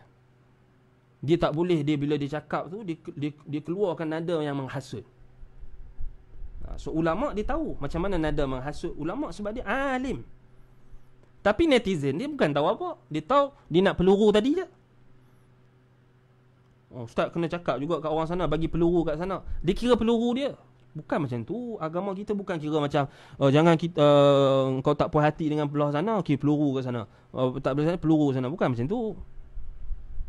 Agama kita ni ada ada adab dia, ada sistem dia. Nak menasihati ada adab dia. Sudah tentulah khitab bila kita bercakap di hadapan pemerintah tak sama dengan kita bercakap berhadapan rakyat biasa. Sebab itu uh, manhaj salaf mereka takkan me- mengkritik pemerintah di hadapan khalayak ramai yang mana perbuatan mengkritik pemerintah di hadapan khalayak ramai itu kebanyakannya akan membawa kepada mafsadah tadi. Yang uh, Al-Qarafi sebut, yang Syekh Uthaymin sebut tadi. Kita sebut awal tadi. Iaitulah apa? Rasa bila bila dah rasa tak hormat ulama, tak rasa tak hormat pada pemerintah dia akan mula akan memberontak. Di sikit demi sedikit. Sebab tu khatib-khatib pun walaupun dia tak pakai teks, dia kena jagalah. Dia kena tahulah apa manhaj salaf ni dalam nasihati pemerintah. Janganlah dia hasut. Oh kerajaan ni kafir, kerajaan ni tak buat hukum Islam, kerajaan ni gini gini gini gini gini gini. Nada tu nada yang menghasut. Ya kerajaan tak buat tak tak jalankan hukum Islam tapi pilihlah bahasa yang lebih lunak. Cuba tengok Allah Taala perintahkan Nabi Musa, "Idhhaba ila Fir'aun fa innahu tagha." Faqula lahu qawlan layyinan la'allahu yatadhakkaru aw yakhsha tu Fir'aun. Fir'aun yang mengaku Tuhan. Allah perintahkan Nabi Musa dan Nabi Harun alaihi salam pergi bertemu dengan Fir'aun. Idhaba ila Fir'aun. Cuba tengok. Situ dah dapat jawapan dah. Macam mana uh, salah faham, macam mana ahli sunnah faham. Al-Quran jelas. Allah tak kata idhaba ila nasi wa tathawwaru wa takallamu amamahum fil fir'aun atau wa takallamu an fir'aun amamahum. Betul tak? Allah tak kata wahai Musa dan Harun pergilah dekat khalayak ramai pergilah dekat depan orang ramai pergilah dekat Bani Israel. Cakap depan orang ramai bahawasanya ha, Fir'aun ni sesat ataupun Fir'aun ni gini gini gini. Tengok. Allah kata idhaba ila fir'aun ila fir'aun bukan ilan nas. Pergi kepada Fir'aun. Kerana Fir'aun waktu tu pemerintah mereka. Walaupun dia kafir Tapi Allah ajar adab. Kalau itu pemerintah kafir Takkanlah pemerintah kita yang solat Yang masih Islam ni Tak ada nilai Tak ada harga Ataupun tak ada nilai Nak dibandingkan dengan Fir'aun. Ini orang yang tak ada akal saja Yang akan cakap macam tu. Pergilah jumpa. Bertentangan mata. Allah kata idhaba ila fir'aun. Fir'aun pergi dekat fir'aun. Sekarang ni kalau kita nampak pemerintah ada buat salah, pergi pergi depan pemerintah tu. Itu itu manhaj dia. Bukan cakap-cakap belakang, kosek-kosek belakang, gosip-gosip belakang, gosip-gosip di media sosial. Bukan macam tu cara dia. Pergi. Baru kita tahu. Waktu tu kita nak cakap apa? kita duk kata kat orang. Tak tahu kita yang jadi jilat pemerintah. Ha, kita yang lagi jilat lebih. Kita pandai cakap. Sebab itu Imam Ahmad, kalau kita tengok Imam Ahmad, dia, dia nasihat anak-anak murid dia. Maksudnya pemerintah ni dia ada dia ada di punya kedudukan dia yang Allah Taala dah jadikan dan Allah campurkan kepada hati orang ramai untuk menghormati dia. Kalau kita lawan, kita tak akan apa-apa. Bahkan akan memudaratkan. Kat situ kita kena akui. Dan dia tak menzalimi kita pun. Dia tak menzalimi kita pun. Kita yang rasa dizalimi. Tapi sebenarnya tak di, tak menzalimi pun kita. Kadang-kadang tu hanya waham. Hanya kekeliruan. Hanya sangkaan. Baik. Kemudian yang Allah kata apa? Faqula lahu qawlan layyinan. Maka berkatalah kamu berdua kepadanya. Maksudnya khitab Allah kepada Nabi Musa dan Harun. Supaya berkata kepada Fir'aun dengan perkataan yang lemah lembut. Faqula lahu qawlan layyinan berkatalah dengan perkataan yang lemah lembut layyinan layyinan perkataan yang lemah lembut ini depan Firaun faqula lahu qawlan layyinan la'allahu yatadhakkaru aw yakhsha. Moga-moga dia dapat peringatan dan ditakut ke Allah. Allah tak kata Allah tak kata oh, cakaplah kasar. Ha cakaplah depan orang ramai. Hina dia ke troll Firaun ke cakap benda-benda yang buruk ke bergosip pasal pasal kejahatan Firaun ke. Tak Allah tak kata begitu. Allah kata faqula lahu qawlan layyinan kata dekat Firaun dengan perkataan yang lemah lembut la'allahu yatadhakkaru aw yakhsha nampak itu kaedah dia manhaj ha? baik uh, mohon uh, jelaskan hadis Anil Hasan qala ada Ubaidullah bin Ziyad ma'qil bin Yasar المزني في مرضه الذي مات فيه قال إني سمعت رسول الله صلى الله عليه وسلم يقول ما من عبد يسترعيه الله رعية يموت يوم يموت wa huwa ghashun li ra'iyatihi illa harramallahu alaihi aljannah. Hadis ini hadis yang sahih. Hadis yang diriwayatkan oleh Imam Muslim rahimahullah. Ha? Mana hadis uh, Ubaidillah bin Ziyad yang mengunjungi Ma'qil bin Yasar, Yasar al-Muzani yang ketika itu sedang sakit dan Ma'qil berkata sesungguhnya aku mendengar Rasulullah sallallahu alaihi wasallam bersabda ma min abadin ataupun ma min apa uh, dikata sini ma min abdin yastar'ihi Allahu ra'iyatan. Yamutu yawma yamutu wa huwa ghashun li ra'iyatihi illa harrama Allahu alaihi al-jannah. Tidak ada seorang pun hamba yang Allah Subhanahu wa taala telah berikan uh, telah takdirkan dia untuk menjadi pemimpin bagi rakyatnya. Yang telah Allah taala jadikan dia sebagai apa? Sebagai seorang yang memimpin rakyatnya. Wahwa yamutu yamu yamutu wahwa yamutu yamutu. Ataupun dikata sini uh, wahwa ghashun atau yauma yamutu yamutu yauma yamutu wahwa ghashun li ra'iyatihi. Dia mati pada hari kematian dia itu dalam keadaan dia menipu, mengkhianati rakyatnya illa harramallahu alaihi aljannah. Melainkan dia akan diharamkan daripada Allah daripada syurga. Hadis yang sahih untuk pemimpin yang menipu rakyatnya. Pemimpin yang khianat kepada rakyatnya. Pemimpin yang tidak amanah kepada rakyatnya ada ancaman. Ada ancaman. Tapi hadis ni tak suruh apa. Nabi SAW tak suruh kita keluar memberontak. Nabi SAW tak suruh kita jaja kesalahan mereka itu supaya mereka itu di, di, dibenci dan sebagainya. Tapi Nabi terus bagi tahu apa? Yamutu yawma yamutu wa huwa ghashun li ra'iyatihi illa, illa harrama Allah alaihi jannah Nabi terus bagi tahu azab daripada Allah. Hukuman daripada Allah. Tak perlu hukuman daripada manusia. Tak perlu hukuman daripada rakyat. Hukuman dia langsung daripada Allah. Kita kena adil. Kita kena letakkan sesuatu pada tempat dia Zalim bila kita tak meletakkan sesuatu pada tempatnya. Adil bila kita meletakkan sesuatu pada tempatnya. Sebab itu meletakkan sesuatu pada tempatnya ialah mengamalkan hadis ini. Hadis Maqil bin Yasar. Hadis yang diriwayatkan oleh Imam Muslim rahimahullah dalam sahihnya. Iaitulah apa? Bila bila pemerintah ini menzalimi rakyat, rakyat ke kena hukum pemerintah? Ha, itu soalan. Ahsan, ahsantum ya Syekh uh, Abu Muhammad. Ha? Barakallahu fikum. Tolong ana, ana pun tak ingat hadis ni. Ha? Masya-Allah dapat pahala banyaklah kita sebarkan hadis Nabi wasallam. Semoga Allah mencerahkan wajah orang-orang yang menyebarkan hadis-hadis Nabi di saat fitan, di saat fitnah-fitnah bermaharajalillah. So tengok Nabi wasallam bagi tahu dekat kita, pemerintah kalau dia menipu rakyat, kalau dia bohong rakyat, kalau dia rasuah, kalau dia khianat rakyat, Nabi tak bagi tahu rakyat akan hukum dia. Sebab Nabi tahu Hukuman rakyat Apa benda? Apa nilai hukuman rakyat? Ha?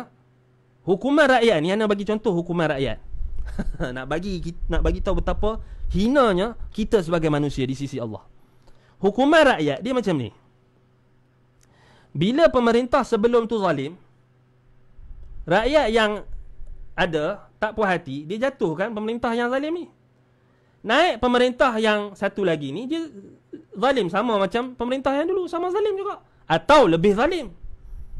Itu hukuman kalau kita serahkan hukuman kepada rakyat. Tak selesai masalah. Ha, Betul tak? Itu yang berlaku. Pemerintah yang dulu Katakan apa? Buaya. Guling kan? Naik pula. Naga pula. Ataupun naik pula. Musang serigala sama aja. Itu hukuman rakyat. Sebab yang gulingkan tu sama juga. Dia pun nak jawatan juga. Dia pun tamakkan harta benda juga. Ditamakkan imarah. Sebab Nabi dah bagi tahu innakum satahrisuna 'alal imarah wa satakunu nadamatan yaumal qiyamah wa satakunu nadamatan wa hasratan yaumal qiyamah fi riwayah.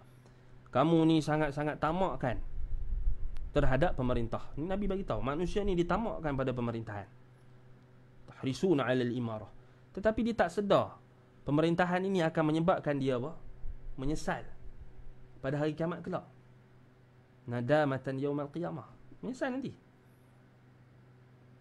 Sebab itu kita nak tunggu hukum siapa? Biar Allah hukum dia. Kerana hukum Allah adil. Sebab tu Nabi SAW bagi tahu dekat sahabat.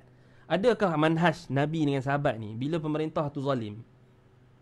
Nabi kata, okey, jatuhkan dia, gulingkan dia. Tak, Nabi tak suruh.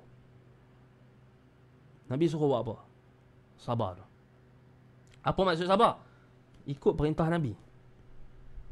Isbiru hatta talqawni ala al-hawdi. Innakum satarawna atharatan. Kamu akan melihat atharah. Atharah ni apa? Kezaliman. Pemimpin yang mementingkan diri sendiri. Pemimpin yang menzalimi rakyatnya. Atharah yang mementingkan diri sendiri. Nak sahabat tanya, apakah kami boleh memerangi mereka? Nabi kata tak, selagi mana mereka mendirikan solat, tak boleh perang. Sebenarnya Nabi kata isbiru hatta talqawni 'ala al-hawdi. Sabarlah kamu sampai kamu bertemu dengan aku di telaga nanti. Tu tu wasiat Nabi. Kan? Ya, itu wasiat. Kita kena pegang. Kalau orang yang tak sabar, dia nak buat kaedah dia sendiri oh kita tak boleh kita kena memberontak kita kena jatuhkan pemerintah kita kena hasut rakyat supaya membenci pemerintah bla bla bla bla. Kita kena angkat pemerintah yang baru dengan cara yang macam mana sekalipun. Yang penting jatuh kerajaan sekarang ni gini gini gini dia nak aturkan sini gini gini gini. Itu bukan jalan sahabat. Itu bukan jalan nabi dan sahabat.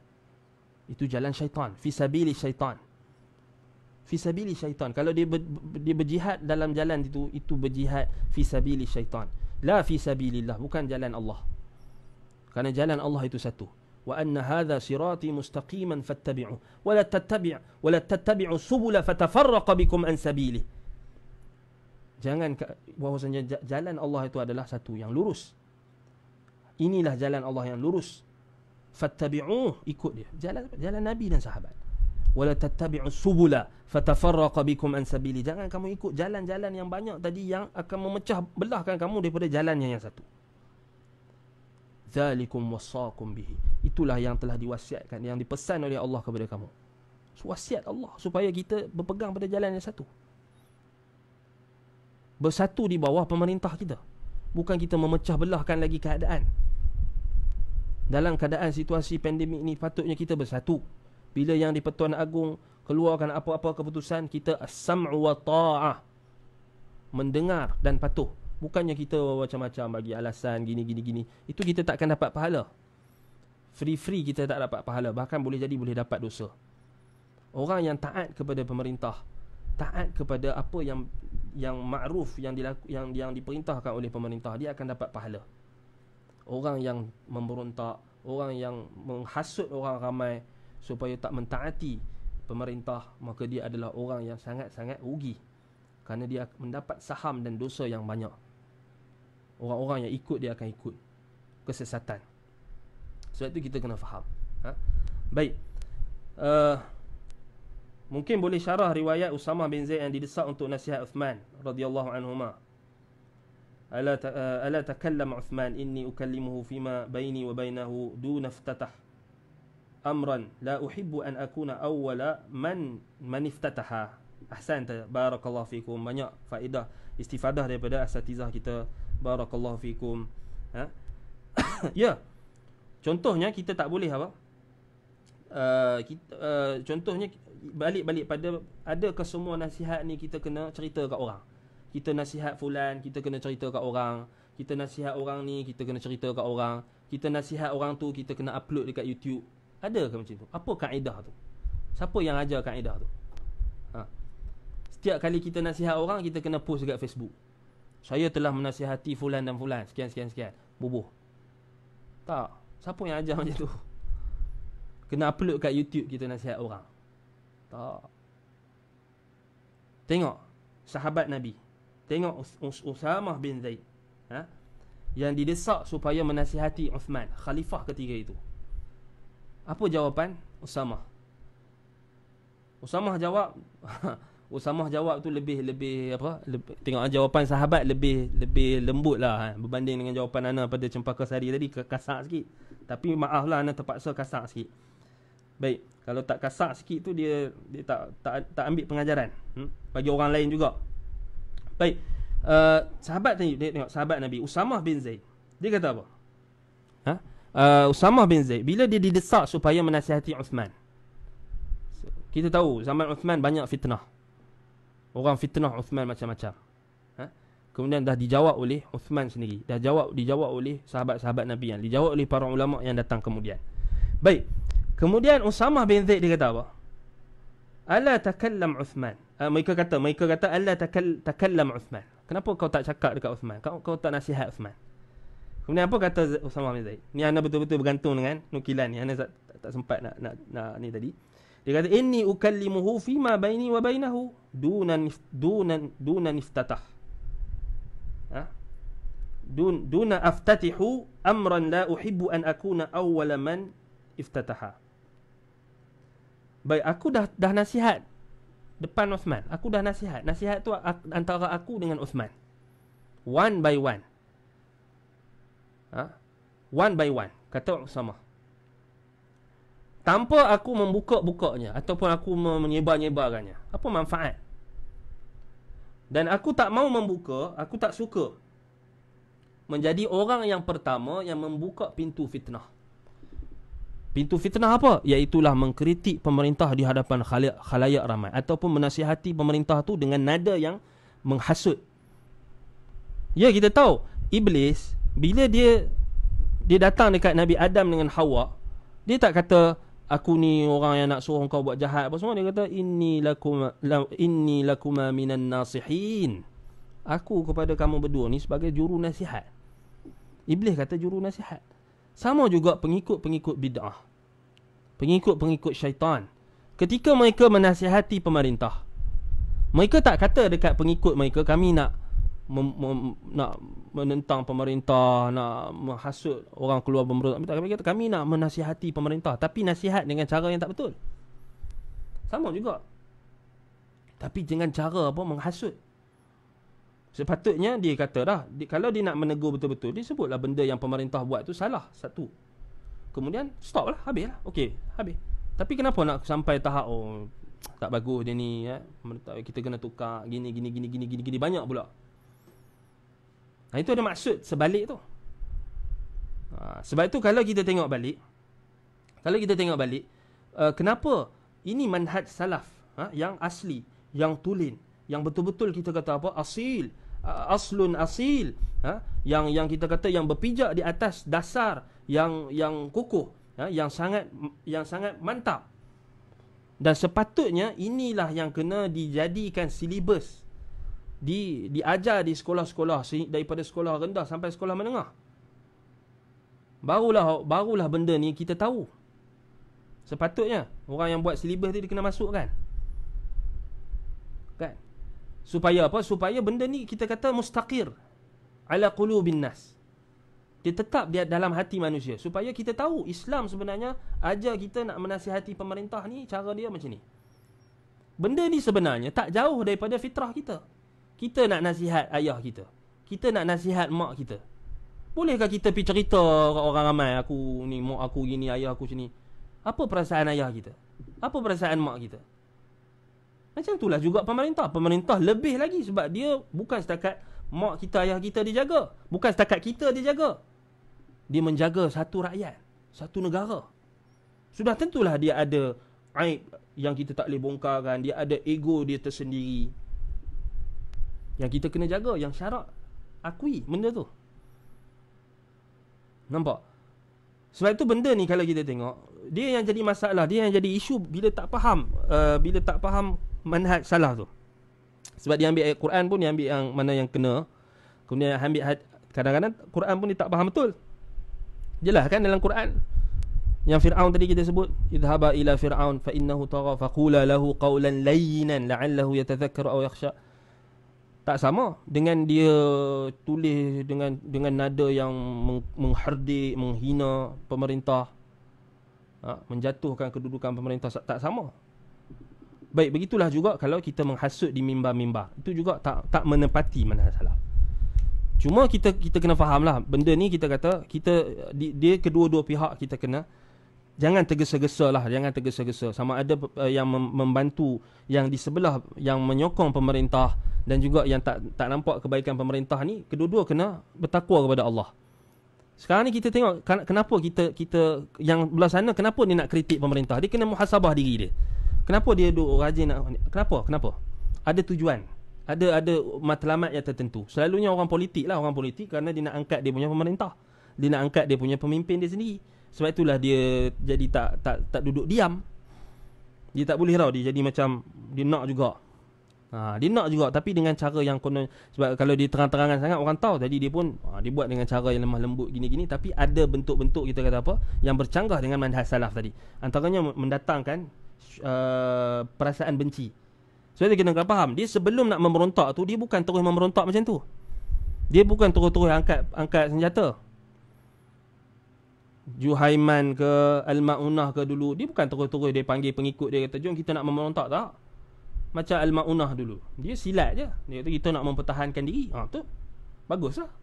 Lama-lama lama-lama lama syaitan datang syaitan datang syaitan datang. Ha, Keluar memberontak pada yang di Pertuan Agung. Al-Juhaiman Fitnah Juhaiman. Dia pun awal-awal Bukan dia nak Dia nak Serang Masjidil Haram. Mula-mula dia kata nak Amal ma'ruf nahi mungkar. Ha. Lama-lama lama-lama bila tak ikut manhaj salaf tadi, dia tak sabar. Dia ikut hawa nafsu, sesat juga. Ha, sebab tu kita kena faham benda ni, kena faham. Sebab apa uh, ramai yang sesat dalam isu ni sebab dia orang tak tengok manhaj salaf tu. Dia tak tengok macam mana sahabat Nabi, kaedah sahabat Nabi, salafus salih, tabi'in, ulama-ulama salaf berinteraksi dengan kesalahan pemerintah. Ha? Dan ini tak menu, kita kata tak mem, ini juga membatalkan dakwaan golongan-golongan yang menuduh kon, kononnya uh, ulama salaf ini adalah ulama sultan, ulama pemerintah. Ini salah. Sebab buktinya kalau kita tengok ramai ulama-ulama yang mereka menulis kesalahan-kesalahan pemerintah mereka tulis dan mereka tegur. Kita kita bagi contoh macam Syekh Abad tadi. Syekh Abdul Musa Abad dia tegur pemerintah yang salah. Kesalahan tu disebarkan orang ramai. Contohnya liberal, pemerintah yang ada kefahaman liberal di Saudi. So syahabat tegur. Tapi tengok syahabat, dia tak bawa hasut orang supaya tak hormat pemerintah tu. Dia suruh apa? Orang supaya balik kembali kepada jalan Allah. Termasuk pemerintah tersebut. Ha. Yang datang syubahatnya, kebanyakannya bila dia kata tadi yang macam syubahat cempaka sari tadi, mana saya tak nampak pun sebab dia jahil. Saya tak nampak pun Saya tak nampak pun Ustaz cakap dekat pemerintahan yang korup Yang rasuah Pasal Kita jahil Pasal kita pun tak dengar semua Ceramah Ustaz tu ha. Macam mana kita boleh hukum orang tu Di di sebelah ni Sebelah ni Sebelah orang ni tak cakap gini gini sama jugalah kita tak tahu ulama-ulama salah ni dia orang dah berjumpa dah bertemu dah dengan raja mereka, dengan sultan mereka, dengan pemerintah mereka. Tapi takkanlah dia orang bodoh nak pergi cerita satu dunia. Ha? Semua benda kita pun kalau kita pun benda yang simple pun kita ada privacy kita. Adakah kita nak cerita kat semua orang? Fikirlah sikit. Ha? gunalah logik yang Allah Taala bagi tu, kan? Wallahul musta'an. Baik. Ana rasa cukup setakat itu insya-Allah. Ana rasa uh, dah cukup lah. Ha? Cukup lah kot. Ha? Panjang ha? kita dah bahas kan isu ni. Apa-apa pun uh, bolehlah kalau ada lagi benda-benda yang tak faham boleh rujuk ramai asatizah kita lagi. Ha? yang lebih alim, ha, yang lebih fakih, rujuk pada fatwa-fatwa ulama. Ha, kita hanya menyampaikan, ha, hanya menyampaikan. Baik. Jadi rasa cukup setakat itu. Semoga Allah SWT memberkati apa yang kita sampaikan. Dan dalam dalam situasi keadaan macam ini berdoalah. Ha, angkatlah tangan kepada Allah, doakan kebaikan pemerintah kita. Ha, kerana doa yang baik untuk pemerintah itu yang akan dapat kebaikannya adalah rakyat. Semua kita akan dapat. Sebab itu kita doakan sebaik mungkin pemerintah kita. Ha, uh, yang tengah mendepani uh, berbagai isu kita jangan peningkan lagi orang jangan peningkan lagi masyarakat uh, ajak orang supaya taat kepada pemerintah uh, ajak orang supaya doakan kebaikan pemerintah doakan kebaikan mereka kerana itulah yang akan uh, kita kata kebaikan yang ada pada mereka itu akan melimpahkan kebaikan kepada seluruh rakyat tak kira yang tadi kalau kita tengok orang yang kritik pemerintah apa semua ni dia orang pun dapat hidup dia pun mendapat hidup disebabkan Allah jadikan sebab adanya pemerintah sebab adanya pemerintah ni aman sebuah negara. Kalau tak ada pemerintah akan huru hara. Ha? Bersyukurlah kepada Allah nikmat keamanan ini. Ha? Dan janganlah kita kufuri nikmat yang Allah Ta'ala berikan kepada kita ini. Anda rasa cukup setakat itu. Aku lu qawli hadha wa astaghfirullah li wa lakum. Subhanakallahumma wa bihamdika asyhadu an la ilaha illa anta astaghfiruka wa atubu ilaik. Wa sallallahu ala Muhammadin wa ala alihi wa sahbihi wa baraka wa sallam. Alhamdulillahi rabbil alamin. Wassalamualaikum warahmatullahi wabarakatuh.